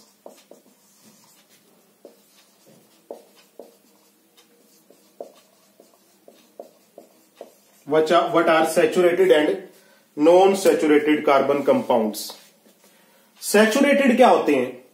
बताइए आप पहले। भी जिन कार्बन के बीच में जैसे मैंने आपको बताया था कार्बन तीन प्रकार के बॉन्ड बनाते हैं सिंगल बी डबल बी और ट्रिपल बी जिन कार्बन के बीच में सिंगल बॉन्ड होता है उसे हम कहते हैं सैचुरेटेड कार्बन एटम्स जैसे मिथेन इथेन प्रोपेन जो फ़र्स्ट वाले करवाए थे। और जिनके बीच में डबल या ट्रिपल बॉन्ड होता है उसे हम क्या बोलते हैं? Non saturated carbon compounds clear है ना बात यहाँ पर? समझ में आ गई? सैचुरेटेड मतलब जिन कार्बन के बीच में सिंगल बॉन्ड है और जिन कार्बन के बीच में डबल या ट्रिपल है, यानी कि जो इथीन प्रोपीन ब्यूटीन पेंटीन या इथाइन प्रोपाइन वो जो थे, वो सारे के सारे क्या थे? नॉन सैचुरेटेड थे। मेरे हिसाब से आपको समझ में आ गया होगा। तो ये आज का टॉपिक था हमारा part one part two carbon and its compound part two आज ही हम डिस्कस करेंगे इवनिंग के अंदर तो वो आप देखना ना भूलें और साथ साथ प्यारे विद्यार्थियों, आप एक्सरसाइज करते रहिए। और, एक दो मैं आपको क्वेश्चन भी देता हूँ होमवर्क के, इनके नाम बताने आपको। इसका नाम बताओ, दो carbon single bond number two इसका नाम बताइए तीन कार्बन और सिंगल बोन्ड इसका नाम बताइए दो कार्बन है और दोनों के साथ लास्ट में ओ OH लगा हुआ है। एक इसका नाम बताइए? टोटल कार्बन तीन है और सी डबल एच है। और एक इसका नाम बताइए? टोटल चार कार्बन है। और बीच में कीटोन फंक्शनल ग्रुप है। तो ये आपका जो होमवर्क है आज का, आप कमेंट बॉक्स में लिखिए इसके आंसर बाकी जो एक्सरसाइज क्वेश्चन है, हम जल्द ही कोशिश करेंगे उसके लिए आपके लिए सोल्ड वीडियो बना करके लेके आए। लेकिन मैं गुजारिश आपसे यही करूँगा कि आप खुद कीजिए एक्सरसाइज को दिक्कत आती है तो कमेंट बॉक्स में लिखिए। लेकिन बाद में आपको सोल्ड जो लेक्चर है वो भी दिए जाएँगे। तो जुड़े रहिए प्यारे विद्यार्थियों, अपने आप को सुरक्षित रखिए, घर पे रहिए और अपने आप को कोरोना वायरस जैसी बीमारी से दूर रखिए। आज के लिए इतना ही। कल फिर मिलते हैं आज के शाम के लेक्चर में। थैंक यू प्यारे विद्यार्थियों, जैसा हमने मॉर्निंग में कहा था आपको कि हम जल्द ही कार्बन कंपाउंड्स का पार्ट टू लेकर के आएँगे तो वो हमारे सामने है। हमने कहाँ पर छोड़ा था आपको? सैचुरेटेड और नॉन सैचुरेटेड हिंदी बता देता हूँ आपको। सैचुरेटेड क्या होता है? संतृप्त। हाइड्रोकार्बन और नॉन सैचुरेटेड होता है असंतृप्त। ये आप हिंदी वाले स्टूडेंट्स हैं, वो उनका कमेंट था कि सर आप हिंदी बता दीजिए इसकी तो ये आपको बता देता हूँ। सैचुरेटेड मीन संतृप्त और नॉन सैचुरेटेड मीन होता है असंतृप्त। तो आप, वहीं से हम दोबारा आगे स्टार्ट करते हैं। अब हम करने जा रहे हैं कार्बन कंपाउंड्स पार्ट टू के अंदर chemical properties of carbon compounds chemical properties यानी कार्बन कंपाउंड के रासायनिक गुणधर्म, ये हिंदी है इसकी. Chemical properties of carbon compounds तो डियर स्टूडेंट्स कौन कौन सी प्रॉपर्टी शो करते हैं carbon compounds property number one combustion Hindi में क्या बोलेंगे? दहन. यानी जितने भी कार्बन कंपाउंड है, वो ऑक्सीजन की प्रेजेंस में जलते हैं और जलने के बाद जैसे हम मिथेन को ले लेते हैं मिथेन भी कार्बन कंपाउंड है सिंगल बोन्ड वाला। तो ये भी ऑक्सीजन की प्रेजेंस में जलता है और जल करके कार्बन डाइऑक्साइड वाटर और हीट तो प्रोड्यूस होगी होगी। लाइट हीट एंड लाइट ये आप लिख सकते हैं। हीट एंड लाइट तो कोई भी कार्बन कंपाउंड ऑक्सीजन की उपस्थिति में जलकर कार्बन डाइऑक्साइड, जल, ऊष्मा और प्रकाश उत्पन्न करते हैं। वेरी सिंपल रिएक्शन मैंने आपके सामने दे दी तो इसमें मेरे ख्याल में कोई दिक्कत नहीं है। सेकंड प्रॉपर्टी पे आ जाते हैं एडिशन रिएक्शन काफ़ी इंपोर्टेंट है, बहुत ही ज़्यादा इंपोर्टेंट एडिशन रिएक्शन इसी का दूसरा नाम हाइड्रोजिनेशन रिएक्शन भी है। हाइड्रोजिनेशन कंफ्यूज नहीं होना बिल्कुल भी। हाइड्रोजिनेशन बच्चे कहते हैं कि सर हाइड्रोजिनेशन क्या है? इसी को कहते हैं भाई। या आ, हिंदी में बोलेंगे तो संकलन या हाइड्रोजनीकरण संकलन अभिक्रिया। क्लियर है? तो एडिशन रिएक्शन क्या होता है? जो भी कार्बन थे डबल बॉन्ड वाले या ट्रिपल बॉन्ड वाले। पहली बात तो ये कि वही करेंगे ये। सिंगल बॉन्ड वाले एडिशन रिएक्शन नहीं करते। ये क्वेश्चन काफ़ी इंपॉर्टेंट है कंपिटेटिव पॉइंट ऑफ़ व्यू से। कि अगर आपसे कोई पूछ ले चार ऑप्शन आपको दिए हैं कि इनमें से कौन एडिशन रिएक्शन करेगा तो वहीं देख लेना आप। कि केवल डबल और ट्रिपल बॉन्ड वाले करेंगे, सिंगल बॉन्ड वाले नहीं करेंगे। क्लियर है ना ये बात? तो एडिशन में होता क्या है? जैसे मान लो ये है इथीन दो कार्बन डबल बॉन्ड तो इसका नाम क्या होगा? इथीन तो एडिशन रिएक्शन किसे कहते हैं? डबल बॉन्ड वाले ट्रिपल बॉन्ड वालों को मैंने अभी बताया था कि उन्हें हम कहते हैं अनसेचुरेटेड और सिंगल बॉन्ड वालों को कहते हैं सेचुरेटेड तो डबल बॉन्ड वाले यानी अनसेचुरेटेड तो अनसेचुरेटेड को सेचुरेटेड में बदलना, यानी डबल और ट्रिपल वालों को सिंगल में बदलना क्या कहलाता है? एडिशन रिएक्शन यानी संकलन अभिक्रिया। द्वियात्रीय आबंध वाले कार्बनिक यौगिकों को किसकी प्रेजेंस में? निकल और हाइड्रोजन की प्रेजेंस में। निकल और हाइड्रोजन की प्रेजेंस में इनको किसमें बदलना? सिंगल बॉन्ड वाले में बदलना। वो क्या कहलाएगा प्यारे विद्यार्थियों? एडिशन रिएक्शन संकलन अभिक्रिया। जो आप वनस्पति घी है ना, वो ऑयल से बनता है, यानी तेल से बनता है, और इसी अभिक्रिया से बनता है। ये नोट कर लेना competitive exam examination point of view से। अगर आपसे पूछ ले कि कौन सी अभिक्रिया से वनस्पति घी बनता है, तेल से तो आपने बताना है कि एडिशन रिएक्शन यानी संकलन अभिक्रिया। क्लियर है ना ये बात? अब नेक्स्ट थर्ड सब्सटीट्यूशन रिएक्शन तीसरी जो रिएक्शन यानी अभिक्रिया शो करते हैं कार्बनिक यौगिक, वो है सब्सटीट्यूशन रिएक्शन यानी हिंदी में बोलेंगे हम इसको प्रतिस्थापन अभिक्रिया। प्रतिस्थापन अभिक्रिया। अच्छा एक बात बताइए। क्रिकेट मैच तो आप सभी देखते हैं ना, आजकल तो चल नहीं रही है कोरोना की वजह से। लेकिन आप सभी देखते हैं तो आपने देखा होगा कि अगर मान लो एक खिलाड़ी को चोट लग जाए फील्डिंग करते समय तो क्या होता है, दस खिलाड़ी खेलते हैं या फिर एक खिलाड़ी और आ जाता है फील्डिंग करने के लिए? बिल्कुल सही, एक और आ जाता है, जिसे हम बोलते हैं सब्सटीट्यूट। तो वही है, इस रिएक्शन का नाम भी है सब्सटीट्यूशन। रिएक्शन क्या होता है? जैसे मान लो ये है मीथेन तो हाइड्रोजन है। अगर इससे ज़्यादा कोई भी रिएक्टिव एलिमेंट से हम रिएक्शन करवाएँगे सपोज़ क्लोरीन से करवाएँगे तो क्या होगा? यहाँ पर कार्बन के साथ कितने हाइड्रोजन जुड़े हुए हैं? चार। अगर मान लो एक हाइड्रोजन को चोट लग जाती है, समझ में आ रहा है ना? क्रिकेट से जोड़ लेते हैं, और उसकी जगह पर एक क्लोरीन जुड़ जाए तो उसे हम बोलेंगे सब्सटीट्यूशन रिएक्शन यानी कि वह अभिक्रिया जिसमें कोई जो मोर रिएक्टिव है, वो लेस रिएक्टिव को डिस्प्लेस कर दे वहाँ से। समझ में आ गया ना? सनलाइट की प्रेजेंस में ये रिएक्शन हो सकती है। तो यहाँ पर क्या बनेगा? यहाँ कितने हाइड्रोजन रह जाएँगे? तीन सी एच थ्री और चौथे हाइड्रोजन की जगह पर क्या जुड़ जाएगा? एक क्लोरीन तो निकला कितना हाइड्रोजन एक हाइड्रोजन निकला और यहाँ दो क्लोरीन थे। एक जुड़ गया तो एक किसके साथ रहेगा? हाइड्रोजन के साथ, यानी एचसीएल इसका नाम है क्लोरोमिथेन या मिथाइल क्लोराइड भी आप इसको बोल सकते हैं, और इस रिएक्शन को हम बोलेंगे सब्सटीट्यूशन रिएक्शन क्लियर है? तो ये केमिकल प्रॉपर्टीज़ थी कार्बन कंपाउंड्स की। अब हम आगे बढ़ते हैं।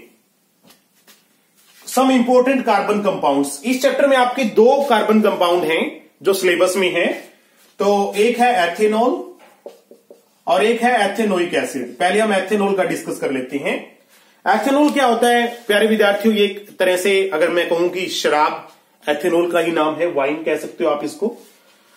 और इसका फार्मूला होता है ये C two H five O H या इसको खोल के लिखेंगे तो ऐसे लिख सकते हो C H three C H two O H जैसे मैंने आपको बताया था ना, दो कार्बन है तो एथेन और साथ में क्या जुड़ा हुआ है ओ एच तो एथेन प्लस ओल क्या बन गया एथेनोल इसी प्रकार एथेनोल का जो नाम है वायुपीएससी नेम मैंने आपको बताया है इसका। ये मैंने इकट्ठा लिख दिया, दो कार्बन और पाँच hydrogen C two H five ये मैंने अलग अलग करके लिख दिया, दोनों बात एक ही है। क्लियर है? तो एथेनॉल की प्रॉपर्टीज़ कर लेते हैं। आपको पता ये वाइन है, आमतौर पर इसकी प्रॉपर्टीज़ क्या है कि ये लैब के अंदर आमतौर पर इसका यूज़ किया जाता है सोलवेंट के रूप में। और जो लैब के अंदर एथेनॉल है, वो होता है डी नेचर्ड अल्कोहल यानी डी नेचर्ड एथेनॉल या हिंदी में बोलेंगे तो विकृत अल्कोहल एथेनॉल बोलो अल्कोहल बोलो, एक ही बात है। हिंदी में बोलेंगे विकृत अल्कोहल। अब ये क्या है? लैब के अंदर जो अल्कोहल यूज़ हो रहा है, अल्कोहल। तो लैब के अंदर जो अल्कोहल यूज़ हो रहा है, वो प्यारे विद्यार्थियों, इसको समझाने के लिए मैं आपको एक छोटी सी कहानी सुना देता हूँ, जो आजकल बड़ी फ़ेमस हुई है। न्यूज़पेपर के अंदर हमें बड़ा दुख हुआ ये जानकर कि ईरान के अंदर किसी ने सोशल मीडिया पे एक अफवाह फैला दी कि आप जो, अगर मैथेनॉल को पी लेंगे मैथेनॉल एक तरह से है तो अल्कोहल ही, लेकिन काफ़ी जहरीला पदार्थ है। कि अगर आप मैथेनॉल को पी लेंगे तो वायरस आपकी बॉडी में टिक ही नहीं पाएगा। आप कोरोना वायरस को खत्म कर सकते हैं। तो अनेकों लोगों ने इस भ्रांति को सच मान लिया और मैथेनॉल को पी लिया और बड़े दुख के साथ कहना पड़ा कि सैकड़ों लोग मारे गए, अनेकों लोग अंधे हो गए छोटे छोटे बच्चे भी अंधे हो गए। तो मैथेनॉल क्या होता है? हमारे लैब के अंदर जो अल्कोहल आता है, लोग उसको पी ना लें, क्योंकि बहुत सस्ता आता है, कोई एक्साइज ड्यूटी नहीं लगती। यहाँ पर जो चार गुना आपको मिलता है, वो लैब पर्पज के लिए आपको चार गुना कम मिलेगा। तो उसको पीने से रोकने के लिए गवर्नमेंट क्या करती है, उसमें मैथेनोल को मिला देती है, या कॉपर सल्फेट को मिला देती है, या पिरीडीन को मिला देती है, और ऐसे अल्कोहल को हम बोलते हैं विकृत अल्कोहल अब हम करने जा रहे हैं केमिकल प्रॉपर्टीज़ ऑफ़ अल्कोहल यानी ethanol chemical properties of ethanol ethanol के रासायनिक गुणधर्म. तो तीन चार प्रॉपर्टीज़ हैं, वो हम डिस्कस करेंगे. नंबर वन है reaction with K M N O four K M N O four से अभिक्रिया. इस अभिक्रिया को हम ऑक्सीडेशन भी कहते हैं ऑक्सीडेशन ऑफ़ इथेनॉल ऑक्सीकरण हिंदी में अगर हम लिखेंगे तो या उपचयन भी लिख सकते हैं एथेनॉल का ऑक्सीकरण या ऑक्सीडेशन तो क्या होता है, जब हम एथेनॉल की अभिक्रिया करते हैं फोर के साथ फोर क्या है? ऑक्सीडेशन करवाता है इसका। ऑक्सीडाइजिंग एजेंट है, यानी ऑक्सीजन देने वाला है। इसके पास चार ऑक्सीजन है। तो एथेनॉल को एक ऑक्सीजन दे देगा और एथेनॉल बदल जाएगा, एथेनोइक अमल में। तो ये क्वेश्चन कई बार आ भी जाता है पेपर में कि एथेनॉल को एथेनोइक एसिड में कैसे बदलेंगे? तो आपने वही वही लिखना है कि के फोर से रिएक्शन करवाएँगे, यानी ऑक्सीडेशन करवाकर हम इसको इसमें बदल सकते हैं। दूसरी property reaction with sodium sodium से अभिक्रिया। बिल्कुल सिंपल है, बिल्कुल इजी है। ये है एथेनॉल यहाँ पर आप लिख देना नीचे, जब भी आप रिएक्शन करते हैं, उसका नाम ज़रूर लिखे नीचे। तो एथेनॉल की जब हम रिएक्शन करेंगे सोडियम से तो ये बोन टूट जाएगा, प्यारे विद्यार्थियों। और सोडियम इसके साथ जुड़ जाएगा, क्या बनेगा? C H three C H two O N A ये एच निकल गया ना? ये देखिए, यहाँ पर एच निकल गया एच टू बैलेंस करने के लिए यहाँ पर दो लगा देता हूँ, यहाँ पर दो। और इसका नाम होता है सोडियम इथोक्साइड तो आप क्या लिखोगे? कि जब एथेनॉल सोडियम से रिएक्शन करता है, अभिक्रिया करता है then sodium ethoxide is formed तो सोडियम एथोक्साइड बनता है। बिल्कुल इजी नंबर तीन। सल्फ्यूरिक एसिड से reaction reaction with sulphuric acid sulphuric अमल से अभिक्रिया। सल्फ्यूरिक एसिड का फार्मूला क्या होता है? एच टू एसओ फोर तो यहाँ पर मैं फिर एक बार लिख देता हूँ एथेनॉल एथेनॉल पता है ना? कितने कार्बन है? दो। दो तो क्या होता है? एथेन। और ओ OH लगा हुआ है तो ई e काट के क्या करेंगे? ओल तो क्या बन गया? एथेनॉल। किसके साथ reaction H two SO four से। तो जब भी हम एथेनॉल के अंदर एसिड डालते हैं एसिड क्या करता है? इसमें से वोटर निकाल देता है। तो वोटर निकलने के बाद क्या बचा? इथीन ये बन गया इथीन एथेनॉल से इथीन तो अगर हम इसमें सल्फ्यूरिक एसिड डालेंगे तो सिंगल बॉन्ड वाला बन गया डबल बॉन्ड यानी सैचुरेटेड बन गया अनसेचुरेटेड हिंदी में बोलेंगे तो संतृप्त बन गया असंतृप्त। अगर क्वेश्चन पेपर के अंदर कंपिटेटिव में काफ़ी बार आता है कि संतृप्त हाइड्रोकार्बन को असंतृप्त में कैसे बदलेंगे एच टू एसओ फोर से रिएक्शन करवा के। नंबर चार। जो चौथी रिएक्शन है, वो एथेनॉल और इसके बाद जो मैं करवाऊँगा एथेनोलिक एसिड दोनों के लिए सेम है, क्योंकि हम दोनों की रिएक्शन करवाने वाले हैं।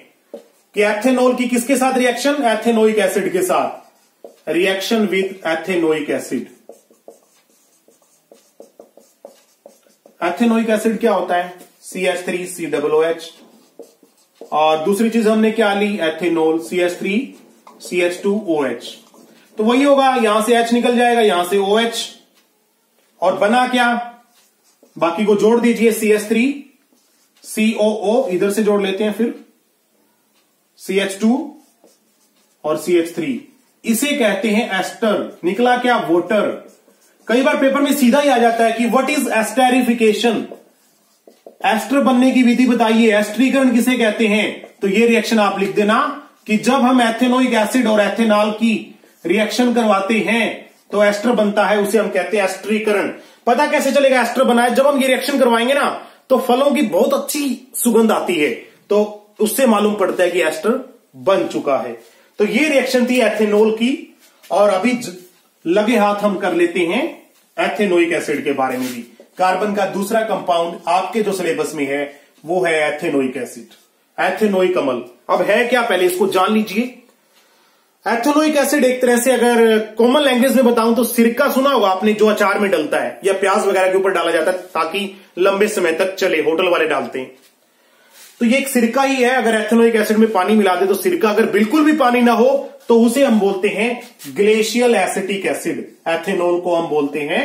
बिना वोटर का जो एसिड 100 परसेंट एथेनोइक एसिड होता है, उसे हम बोलते हैं ग्लेशियल एसिटिक एसिड तो अब हम करने जा रहे हैं इसकी chemical properties chemical properties of ethanoic acid ethanoic acid के रासायनिक गुणधर्म. कौन कौन से किससे अभिक्रिया करता है? जल्दी से फटाफट, एक तो वही कर लेते हैं, एथेनॉल के साथ जो भी करवाई थी सेम टू सेम वही लिखनी है, एस्टर बनना रिएक्शन विद एथेनॉल तो इसको मैं नहीं करवाऊँगा सेकंड से स्टार्ट करता हूँ। एस्टर बनेगा, वही लिखना आपने, जो अभी लास्ट मैंने करवाई थी। सेकंड है सोडियम रिएक्शन विद सोडियम और तीनों एक जैसे ही तो एक साथ ही करवा देता हूँ, नंबर तीन और नंबर चार भी। Reaction with sodium carbonate sodium carbonate और reaction with sodium hydrogen carbonate sodium hydrogen carbonate से अभिक्रिया। बिल्कुल सिंपल है, तीनों ही आसान है। और एक जैसी है, सभी के अंदर एक ही चीज़ बनती है। तो जल्दी से देख लीजिए, पहले सोडियम के साथ अभिक्रिया। किसकी? एथेनोइक एसिड की। तो एथेनोइक एसिड की नंबर दो, ये है एथेनोइक एसिड। किससे करवा रहे हैं? सोडियम से। इसमें किससे करवा रहे हैं? Sodium carbonate. क्या होता है? सेकंड चैप्टर आप देख लीजिएगा, उसमें पता लग जाएगा आपको। मैंने करवाया था सोडियम कार्बोनेट। और इसमें किससे करवा रहे हैं? सोडियम हाइड्रोजन कार्बोनेट से NaHCO3 तो तीनों में एक ही चीज़ बनेगी एच निकलेगा और एन जुड़ेगा। यानी कि इसका नाम है सोडियम एथेनोइड। Sodium ethanoate. तीनों में यही चीज़ बनेगी, सोडियम एथेनोइड। इसमें भी क्या बनेगा? Sodium ethanoid. और इसमें भी क्या बनेगा? Sodium ethanoid. तो एक याद करें, तीनों याद हो जाएँगे। क्लियर है? इसको बैलेंस कर लेते हैं क्योंकि हाइड्रोजन निकलेगा। यहाँ पे दो लगाइए, यहाँ पे दो, यहाँ पे दो, और दिखा दीजिए कि हाइड्रोजन निकल रहा है। इसमें एक कार्बन डाइऑक्साइड निकलती है और वाटर निकलता है। इसमें भी साथ में कार्बन डाइऑक्साइड और वाटर और इसको बैलेंस करने की ज़रूरत है, क्योंकि यहाँ पे दो लगाइए, इधर दो लगाइए। हो गया बैलेंस हो गई। तो ये रिएक्शन थे किसके? एथेनोइक एसिड के। बिल्कुल सिंपल है। तीन तो लास्ट के सेम है एज इट इज़ तीनों में एक ही चीज़ बनती है। तो प्यारे विद्यार्थियों, अब हम वेरी वेरी इंपॉर्टेंट टॉपिक करने जा रहे हैं इस चैप्टर का। जो पेपर में आएगा ही आएगा नोट कर लीजिए। पक्का hundred percent very very important topic cleansing action of soap साबुन की धुलाई प्रक्रिया। साबुन कपड़े कैसे साफ़ करता है? साबुन या डिटर्जेंट किसी का भी आ सकता है। बात एक ही है कि एक ही चीज़ लिखना अगर दोनों में कुछ भी आता है तो। क्लिंजिंग एक्शन ऑफ़ सोप तो साबुन कैसे धुलाई करता है उसको समझने के लिए आप पहले साबुन का स्ट्रक्चर समझिए। साबुन जो है, उसके दो सिरे होते हैं। ऊपर का सिरा कहलाता है हेड यानी सिर, और नीचे का सिरा कहलाता है टेल यानी पूंछ।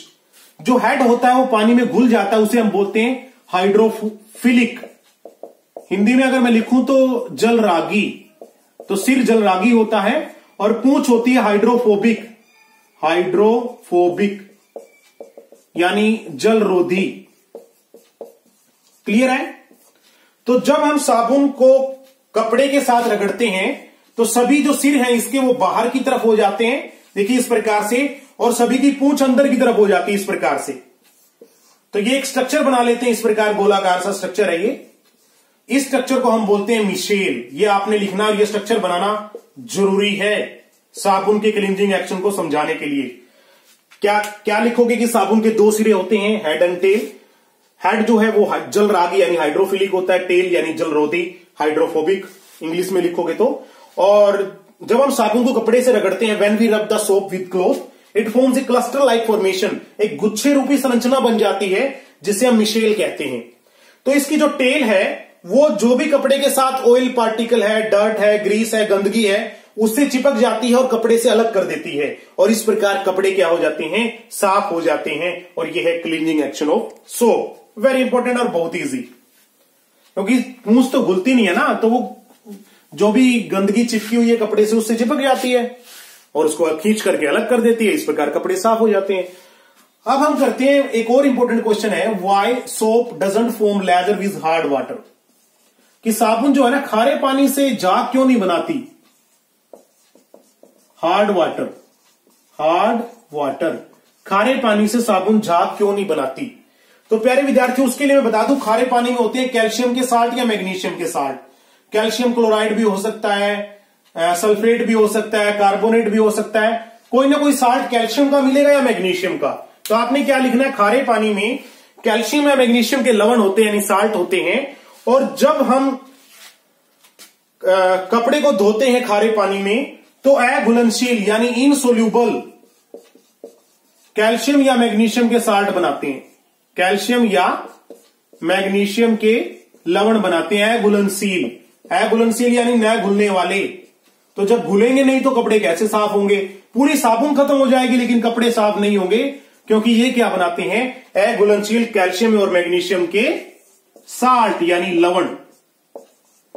जिस कारण से कपड़े साफ़ नहीं होते। तो ये था हमारा आज का chapter, carbon and its compound. कल आपका इंपॉर्टेंट टॉपिक जो आप पूछ रहे हैं ना बार बार कि, सर पीरियोडिक टेबल कब करवाने जा रहे हैं? तो वही स्टार्ट करेंगे chapter number five periodic classification of element periodic table भी करवाएँगे आपको अच्छे से। पीरियोडिक क्लासिफिकेशन ऑफ़ एलिमेंट तो तब तक आप ये कीजिए एक्सरसाइज कीजिए इसकी घर पे प्रैक्टिस कीजिए नोटबुक तैयार कीजिए और जो भी चीज़ नहीं आती है, वो आप कमेंट बॉक्स में लिखिए। लगे रहिए हमारे साथ, इस कोरोना से जीतेंगे हम और साथ साथ अपने आप को पढ़ाई के साथ भी जोड़ के रखेंगे। आज के लिए इतना ही, कल फिर मिलते हैं एक और नई लेक्चर के साथ। थैंक यू डियर स्टूडेंट्स आज हम डिस्कस करेंगे chapter number five periodic classification of elements अगर हिंदी में बात करें, तत्वों का वर्गीकरण। तो देखिए, क्या था कि धरती के ऊपर जितने भी एलिमेंट्स है ना, जो अब तक डिस्कवर हुए हैं, उसके प्रयास तो बहुत पहले से किए जाते रहे हैं। बहुत सारे वैज्ञानिकों ने कोशिश की कि तत्वों को इस प्रकार से अरेंज करें ताकि उनकी स्टडी करना आसान हो, एक जैसे तत्वों को एक साथ रखा जाए। तो सबसे पहले अगर हम बात करें तो डोब्राइनर वो साइंटिस्ट था जिसने एक जैसे तत्वों को एक साथ रखने की कोशिश की। तो क्वेश्चन हमारा क्या बनता है कि डोब्राइनर के ट्राइड्स की क्या विशेषताएँ थी? अगर हिंदी में बोले तो ट्राइड्स को हम बोलते हैं त्रिक। तो डोब्राइनर के त्रिक की क्या विशेषताएँ थी? तो प्यारे विद्यार्थियों, डोब्राइनर ने क्या किया? उसने एक अलग ही फार्मूला निकाला। उसने तीन तीन एलिमेंट्स को एक साथ रखा। देखो, यहाँ पर आप देख सकते हैं, लिथियम, सोडियम और पोटेशियम को एक साथ रखा। यहाँ पर कैल्शियम स्ट्रोनशियम और बेरियम को एक साथ रखा और यहाँ क्लोरीन, ब्रोमीन और आयोडीन को एक साथ रखा। अब आप पूछेंगे कि एक साथ क्यों रखा? क्योंकि उसे लगा कि ये तीनों तत्व एक जैसे हैं, यानी कि एक ही परिवार के सदस्य हैं। तो उसने फार्मूला क्या बनाया? डोब्राइनर ने उसने कहा कि जो पहला तत्व है, जैसे इसके अंदर पहला लिथियम है, और जो तीसरा तत्व है, तीसरा एलिमेंट है, पोटेशियम, उसने कहा कि पहले और तीसरे एलिमेंट का, ये जो मैंने आगे लिख रखा है, नाइन और थर्टी नाइन, ये इनका परमाणु भार है। इज़ इट क्लियर परमाणु भार। तो उसने कहा कि पहले और तीसरे तत्व के परमाणु भार का औसत दूसरे के बराबर होगा। औसत कैसे निकाली जाती है? दोनों को जोड़ करके। दो से भाग कर देंगे। तो नाइन और थर्टी नाइन कितना होगा फोर्टी सिक्स फोर्टी सिक्स को दो से भाग करेंगे तो कितना आएगा? ट्वेंटी थ्री आएगा। और ये वास्तव के अंदर इसने जो फॉर्मूला लगाया, वो सही साबित हुआ, क्योंकि वास्तव के अंदर सोडियम का जो भार होता है, वो 23 होता है।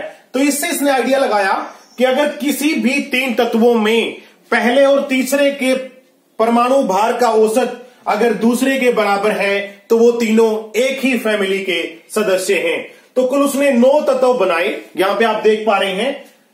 एक, दो, तीन, यानी तीन तीन उसने ट्राइड यानी त्रिक बनाए और हर ट्राइड में तीन तीन तत्व थे। यानी कुल तत्व कितने हो गए? नाइन अब बीच वाले का भी देख लीजिए। पहला जो परमाणु भार है, चालीस पॉइंट एक, इसका एक सौ सैंतीस पॉइंट तीन। तो इनको जोड़िए और दो से डिवाइड कीजिए। 177.4 दो से डिवाइड कीजिए। 88.7 और वास्तव में कितना होता है स्ट्रोनशियम का? 87.6 यानी कि नियर अबाउट इसका कैलकुलेशन यहाँ भी सही था। और इधर भी इसका कैलकुलेशन सही था तो ये तीन आ, तीन समूह के नौ तत्वों को अरेंज करने में कामयाब रहा था। और यह यहाँ पर हमें मिली थी पहली सफलता, जब हमने नौ तत्वों को एक साथ वर्गीकृत किया था। आज आप देखते हैं आधुनिक आवर्त सारणी की अगर हम बात करें मॉडर्न पीरियोडिक टेबल की तो वहाँ 120 से ज़्यादा तत्व अरेंज हैं, बहुत ही सिमेट्रिकल फॉर्म में। तो इस प्रकार अगर हम लिखेंगे क्या, कि डोबराइनर के त्रिक के अनुसार उसने तीन तीन तत्वों के त्रिक बनाए। उसके अनुसार पहले और तीसरे तत्व का परमाणु भार का औसत दूसरे के बराबर था। Is it clear according to Dobereiner he arrange the element in order of their atomic mass. So, in his triad, the average mass of first and third element is equal to second element. ये क्या था? Döbereiner का tried लेकिन कमियाँ क्या रही? Question ये भी आता है कि डोब्राइनर का जो ट्राइड था, वो कामयाब क्यों नहीं हुआ? वो इसीलिए कामयाब नहीं हुआ कि वो केवल नो ही तो तत्व बना पाया। बाकी के बारे में तो उसने कुछ नहीं बताया। आज धरती के ऊपर इतने सारे तत्व हैं 120 के आसपास डिस्कवर किए जा चुके हैं और बहुत सारे ऐसे हैं जो अभी तक डिस्कवर होने बाकी हैं। तो बाकी के बारे में कोई जानकारी नहीं दे पाया, यही इसकी कमी थी। अगर कमी में आता तो आपने यही बताना है कि ये केवल नो ही एलिमेंट्स को बता पाया, यानी केवल तीन ही ट्राइड यानी त्रिक बना पाया। उसके बाद नंबर आता है न्यूलैंड्स का। न्यूलैंड्स की अगर बात करूँ मैं तो उसने भी इसके बारे में क्या लिखेंगे? पॉइंट बना करके लिख लीजिएगा। कि उसने तत्वों को उनके बढ़ते हुए परमाणु भार के अनुसार रखा। इंक्रीजिंग एटॉमिक मास किस प्रकार रखा? तत्वों को he arrange the element in order of their increasing atomic mass उसने तत्वों को उनके बढ़ते हुए परमाणु भार के अनुसार रखा। उसने कहा था कि धरती के ऊपर कितने तत्व विद्यमान हैं? 56 एलिमेंट्स और इसके बाद और अधिक तत्वों की खोज नहीं होगी। मैंने जितने कर लिए, उतने ही रहेंगे। उसके बाद कोई और साइंटिस्ट इससे ज़्यादा तत्व को नहीं खोज पाएगा, ये किसने कहा? न्यूलैंड ने। तो उसने कि क्या कहा था? There are only 56 elements on this earth no more elements will be discovered in future तीसरी जो चीज़ थी, उसने क्या किया? उसकी जो ऑक्टेव्स था, उसने दिया था लॉ ऑफ़ ऑक्टेव्स अष्टक सिद्धांत। जो हम बात करते हैं डोब्राइनर की तो उसने तीन तीन एलिमेंट्स को अरेंज किया था, जबकि इसने अष्टक सिद्धांत यानी आठ एलिमेंट्स का सिद्धांत दिया। अगर हम कैलकुलेट करते हैं तो सात बनते हैं, एक, दो, तीन, चार, पाँच, छह, सात। आठवां तत्व पहले के नीचे आता है, देखिए यहाँ पर। क्लियर है ना? तो उसने कहा था कि हर आठवां तत्व अपने पहले तत्व जैसा होगा, यानी कि उसके परिवार का सदस्य होगा। एलिमेंट्स की जो टेबल बनाई जाती है, वो इसी आधार पे बनाई जाती है कि एक जैसे तत्वों को एक साथ रखें। तो न्यूलैंड ने भी वही कोशिश की थी कि एक जैसे तत्वों को मैं एक साथ रखूँ। तो उसने कहा था कि every eight element every eight element will be similar to first element हर आठवां तत्व, पहले एलिमेंट जैसा होगा, उसकी प्रॉपर्टी उसके गुणधर्म पहले से मिलते जुलते होंगे। ये कहा था न्यूलैंड ने। तो ये था न्यूलैंड का सिद्धांत। अब कमियाँ क्या रही? नोट कीजिए। कमी नंबर एक लिमिटेशन जिसे हम कहते हैं, जिसके बारे में वैज्ञानिकों ने कहा कि ये कमी इसने छोड़ दी। लिमिटेशंस तो पहली तो यही रही कि जिसने कहा था कि केवल छप्पन तत्व हैं, और आज हम जानते हैं कि इतने सारे तत्व खोजे जा चुके हैं। इसने कहा था कि इससे ज़्यादा कभी खोजे ही नहीं जाएँगे। दूसरी बात जो ये रही, इसने केवल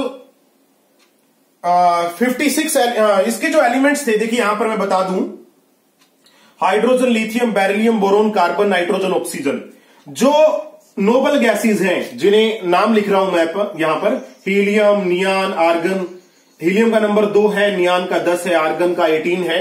उसके बाद जिनान है इसके बारे में तो इसको बिल्कुल भी जानकारी नहीं थी और ना ही कहीं पर दूसरी कमी यही रही कि इनके बारे में तो बिल्कुल भी नहीं पता था। हाइड्रोजन नियॉन और आर्गन इसका ज़िक्र इसकी सारणी के अंदर कहीं नहीं है। तो global gases are not explained या not shown in his table. उसने अक्रिय गैसों को अपनी टेबल के अंदर जगह नहीं दी। क्लियर है बात यहाँ पर? तीसरा यह है कि इसकी जो, इसने ये जो सारणी बनाई, यहाँ पर कैल्शियम तत्व तत्वों के जो गुणधर्म है प्रॉपर्टीज़ हैं, वो ऊपर वालों से मिलते हैं। जैसे बैरिलियम, मैग्नीशियम, कैल्शियम, इनकी प्रॉपर्टीज़ मिलती है। लिथियम, सोडियम, पोटेशियम, इनकी भी मिलती है। हाइड्रोजन, फ्लोरिन, क्लोरिन, इनकी भी मिलती है। तो कैल्शियम तक तो ठीक था। आगे वाले एलिमेंट्स की प्रॉपर्टीज़ आपस में एक दूसरे से नहीं मिलती थी। यानी कि ये जो न्यूलैंड का सिद्धांत है it will applicable only up to calcium ये कैल्शियम तक ही लागू होता है। ये इसकी तीसरी कमी थी। इसने ये भी कहा कि अगर आपको इसको याद करना है तो आप एक म्यूजिकल टर्म है, सारे गा पा। उससे भी याद कर सकते हैं। देखिए, सा, रे, गा, मा, पा, दा, नी, और नी के बाद फिर क्या आता है? सा आता है। तो वही इसने कहा कि हर आठवां तत्व पहले जैसा था। तो सारे का मा पादा नीसा से हम इसको याद कर सकते हैं। इस प्रकार से भी जो न्यूलैंड का अष्टक सिद्धांत है, वो लागू होता है। तो प्यारे विद्यार्थियों, ये था न्यूलैंड का अष्टक सिद्धांत। कमियाँ भी मैंने आपको यहाँ पे बता दी। उसके बाद बेहद ज़बरदस्त पीरियोडिक टेबल आई, जिसका नाम था Mendeleev Mendeleev periodic table Mendeleev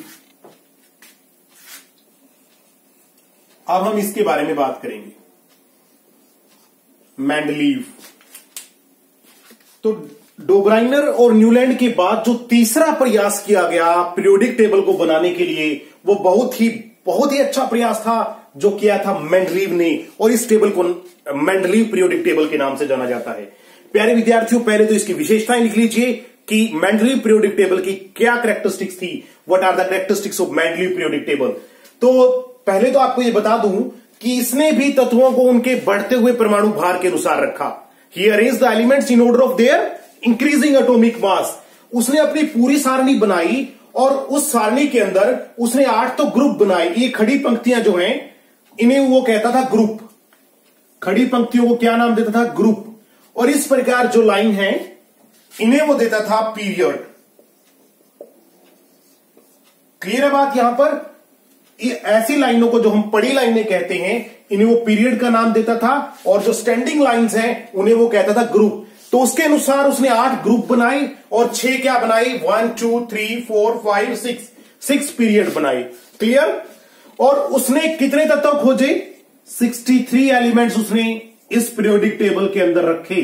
Newlands ने कितने रखे थे? 56 और मैंडलीव ने कितने रखे? 63 तो प्यारे विद्यार्थियों, इस प्रकार इसने पूरी जो सारणी बनाई, उसमें इसने फार्मूले भी बताए कि अगर इनके साथ ऑक्साइड्स बनेंगे, यानी ऑक्सीजन जुड़ेगी तो क्या फार्मूला रहेगा? हाइड्रोजन जुड़ेगी तो क्या रहेगा? वो सब कुछ इसने एक्सप्लेन किया। अगर हम काउंटिंग करें तो ये देखिए, इसने पहले पीरियड की बात करें तो केवल हाइड्रोजन को रखा। दूसरे के अंदर इसने सेवन एलिमेंट्स को रखा। तीसरे में फिर सेवन को रखा। फोर्थ में इसने डबलिंग की यहाँ पर आप देख सकते हैं एक एक बॉक्स के अंदर एक से ज़्यादा एलिमेंट को भी रखा। ये इसकी कमियाँ थी। अब हम कमियों के ऊपर डिस्कस करते हैं। What are the limitations of Mendeleev periodic table तो लिमिटेशंस के साथ, प्यारे दोस्तों, एक और चीज़ मैं आपको बताना चाहूँगा। ये जो चीज़ मैंने लिख रखी है R two O R O R two O three ये फार्मूले बताए थे इसने कि अगर ये ऑक्सीजन से रिएक्शन करके ऑक्साइड बनाएँगे तो फार्मूला क्या रहेगा? तो पूरे के पूरे ग्रुप का एक ही फार्मूला बना दिया इसने। आर मतलब आर की जगह पर आप हाइड्रोजन को रखिए तो ये बन जाएगा एच यानी वोटर आर की जगह अगर आप लिथियम को रखिए तो ये बन जाएगा एल लिथियम ऑक्साइड आर की जगह अगर आप सोडियम को रखिए तो एन सोडियम ऑक्साइड तो ये फार्मूले इसने बनाए कि आर मीन्स ये कॉमन सभी के लिए वर्ड यूज़ किया इसने आर तो ये ऑक्साइड का फार्मूला था और हाइड्राइड का फार्मूला इसने पहले ग्रुप के लिए बनाया आर एच आर की जगह पर आप ये एलिमेंट्स रख सकते हैं तो सभी के लिए एक कॉमन फार्मूला बनेगा। अगर मैं आपसे क्वेश्चन में पूछ लूँ कि मेडलिव के अनुसार एल्यूमिनियम के ऑक्साइड का फार्मूला बताइए तो इस ग्रुप का फार्मूला इसने क्या बताया? आर टू ओ थ्री तो आर की जगह आप एल्यूमिनियम को रख लीजिए तो फार्मूला क्या बना? A L two O three clear है ना? ये अगर आपसे ये पूछने जाता है कि इसी में एल्यूमिनियम के हाइड्राइड का फार्मूला बताइए तो हाइड्रोजन अगर जुड़ती है तो उसे हाइड्राइड बनते हैं, और ऑक्सीजन जुड़ती है तो ऑक्साइड बनते हैं। तो हाइड्राइड का फार्मूला इसने बताया आर एच थ्री तो अगर एल्यूमिनियम के लिए पूछा जाता है तो ये बन गया A L H three clear है ना? एक और एग्ज़ाम्पल देता हूँ। अगर वो आपसे पूछ ले एग्ज़ाम के अंदर कि फास्फोरस के ऑक्साइड और हाइड्राइड का फार्मूला मैंडलीव के अकॉर्डिंग क्या था तो ऑक्साइड का तो ये बताया इसने। आर की जगह पी को लिख लीजिए पी टू ओ फाइव और यहाँ पर हाइड्राइड का आर की जगह पी लिख लीजिए पी एस थ्री तो सभी के फार्मूले इसने ऊपर लिख दिए कि ऑक्साइड अगर इनसे ऑक्सीजन मिलेगा इनके साथ तो क्या फार्मूला रहेगा? और हाइड्रोजन मिलेगा तो क्या फार्मूला रहेगा? ये बहुत ही इंटरेस्टिंग फैक्ट था जो इसने लिखा। अब कमियों की बात करते हैं। एक तो कमी यह थी कि ये जो एलिमेंट है गैलियम है जर्मेनियम है, और यहाँ पर एक और है एलिमेंट सेकेंडियम ये एलिमेंट इसने बाद में डिस्कवर किए और इसने क्या नाम दिया? गैलियम को नाम दिया इका एल्यूमिनियम। यानी कि इसको पता नहीं था कि कोई एलिमेंट एल्यूमिनियम के बाद खोजा जाएगा। तो खोजा तो इसने एल्यूमिनियम के नीचे रख दिया और गैलियम को नाम दिया इका एल्यूमिनियम। यानी एल्यूमिनियम जैसा एलिमेंट। इका का मतलब होता है इट ये जो नेम है इटैलिक नेम मेरे हिसाब से एज इट इज़ लिया गया वहाँ से। तो ई का मीन्स होता है सेम उस जैसा। तो एल्यूमिनियम जैसा, यानी कि गैलियम एल्यूमिनियम जैसा है तो उसने कहा कि इसको मैं ईका एल्यूमिनियम कहूँगा। जर्मेनियम सिलिकॉन जैसा है तो मैं इसे कहूँगा ईका सिलिकॉन तो इस प्रकार इसने इन एलिमेंट्स के नाम दिए।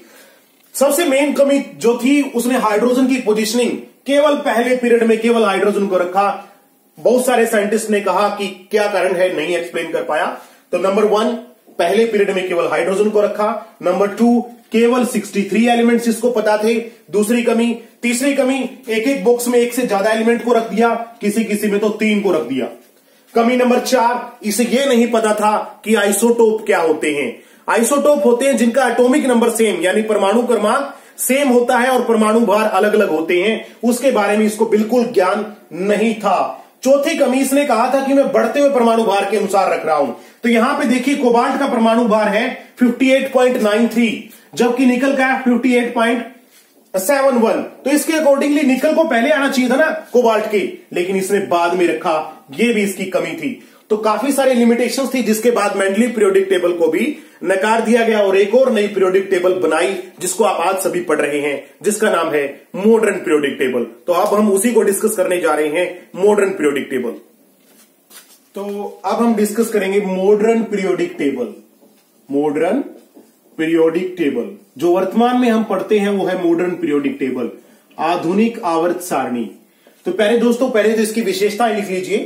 मॉडर्न पीरियोडिक टेबल में टोटल 18 वर्टिकल लाइंस हैं, जिन्हें हम ग्रुप या समूह कहते हैं, और सेवन होरिजोनटल लाइंस हैं, जिन्हें हम बोलते हैं पीरियड या हिंदी में बोलते हैं पीरियड भी बोल सकते हैं, आवर्त भी बोल सकते हैं।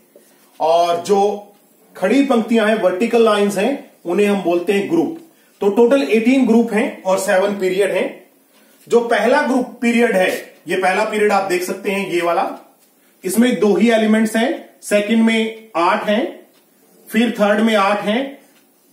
फोर्थ के अंदर 18 फिफ्थ में 18 सिक्स में 32 और जो सेवंथ है, उसमें भी 32 एलिमेंट्स हैं। मॉडर्न पीरियोडिक टेबल की हम बात कर रहे हैं। इसको कैसे याद करना है, पहले आप इसको जान लीजिए। और एक और बात, ये जो पीरियोडिक टेबल है, अब तक आपने पढ़ी, वो परमाणु भार के बढ़ते हुए क्रम में थी according to increasing atomic mass और ये जो टेबल हम पढ़ रहे हैं, ये एटॉमिक नंबर के अकॉर्डिंग है, यानी परमाणु क्रमांक के अकॉर्डिंग है।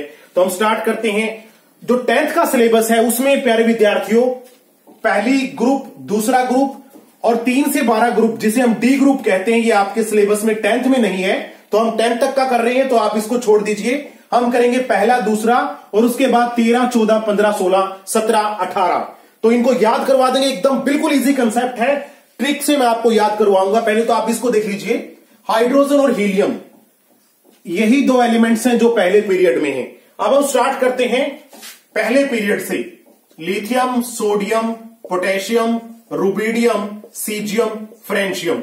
आप इसको कैसे याद करेंगे? एक शॉर्टकट ट्रिक बता देता हूँ, प्यारे विद्यार्थियों। ली लिथियम, ना यानी सोडियम, लीना की रब से फरियाद। वेरी सिंपल अब number two beryllium, magnesium, calcium, strontium, barium, radium.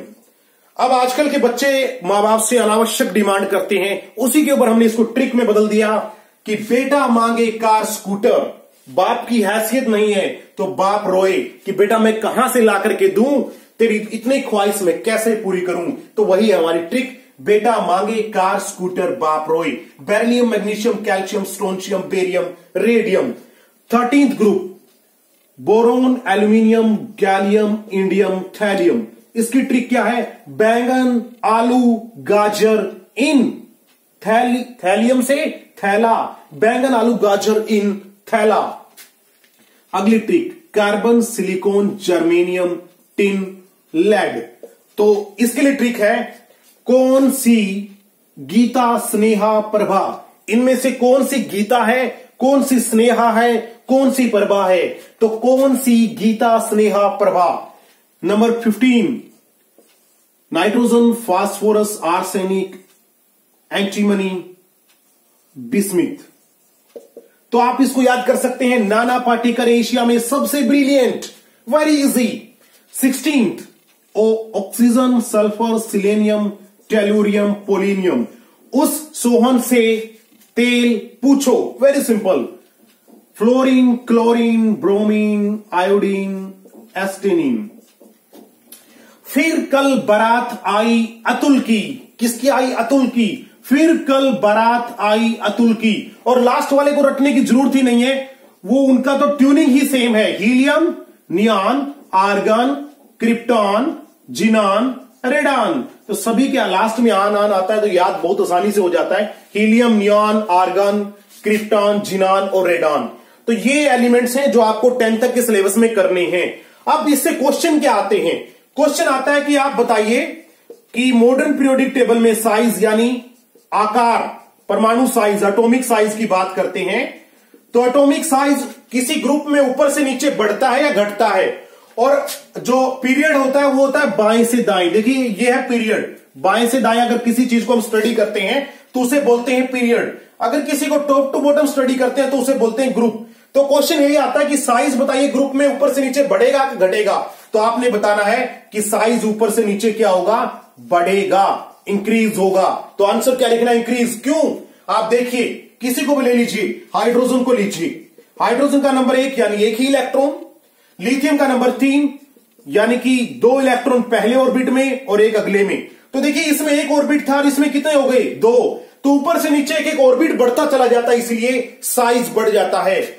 और अगर बात आती है कि इधर क्या होगा size left to right size तो आपने बताना है डिक्रीज होगा, घटेगा। रीजन क्या बताना है? Due to increase in nuclear charge due to increase in effective nuclear charge भी लिख सकते हैं।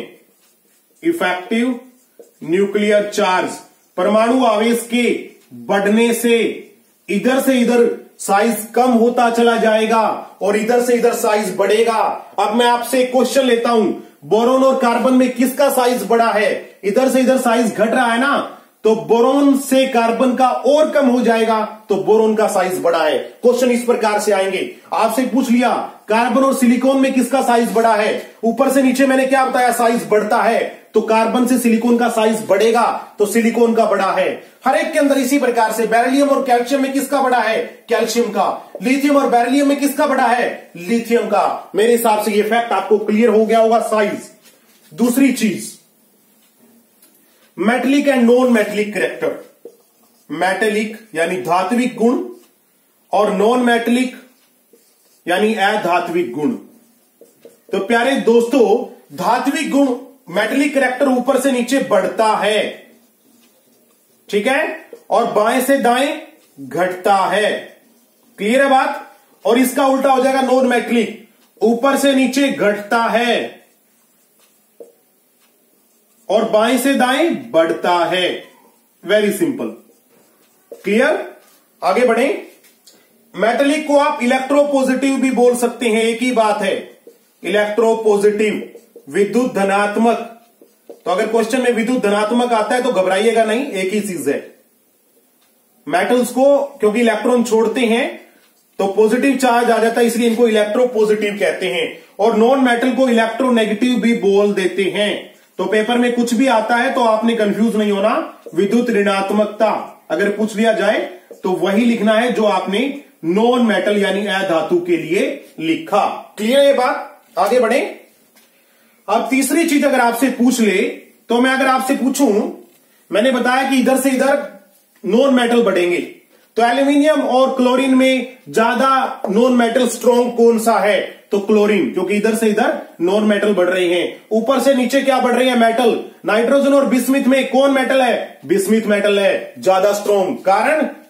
वैसे नाइट्रोजन तो नॉन मेटल ही है धातु यह कारण ऊपर से नीचे, जो धात्विक गुण है मेटलिक करेक्टर है, वो बढ़ता है। क्लियर है ये बात? ये इंपॉर्टेंट है। Periodic table most important topic है। एग्जामिनेशन का नहीं कंपिटेटिव एग्जामिनेशन का भी। तो ध्यान से कीजिएगा। अब तीसरी चीज़ हम करते हैं वैलेंसी संयोजकता।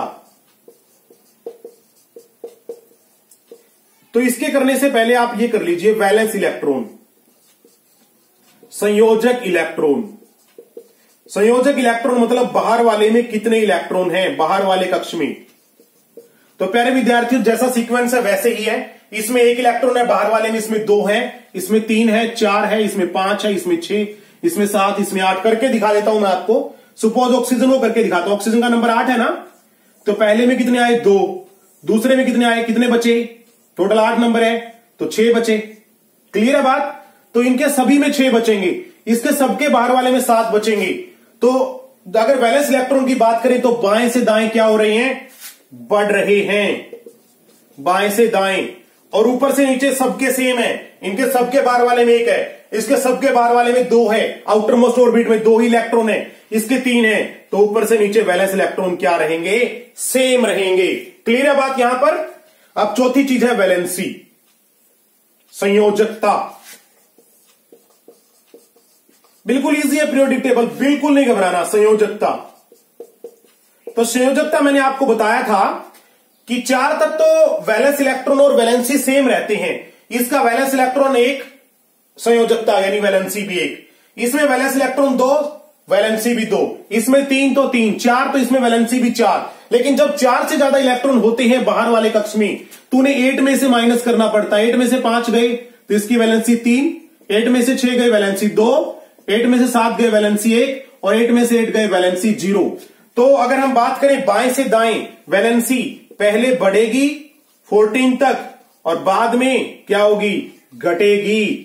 देखो, पहले क्या थी एक, फिर दो, फिर तीन, फिर चार, फिर तीन, फिर दो, फिर एक, फिर ज़ीरो। तो पहले बढ़ेगी, फिर घटेगी। और ऊपर से नीचे वैलेंसी सभी की एक है, इसमें सभी की दो है, इस ग्रुप में सभी की तीन है तो ऊपर से नीचे क्या रहती है? सेम रहती है। तो ये था पीरियोडिक टेबल और टेंथ तक के क्वेश्चन इसको अच्छे से कीजिए, याद कीजिए नोटबुक में नोट कर लीजिए। मेरे हिसाब से आपके लिए सफिशियंट है। एग्ज़ाम के अंदर आप अच्छा स्कोर करेंगे। लगे रहिए, कोरोना से जीत हासिल कीजिए। Stay at home work at home thank you very much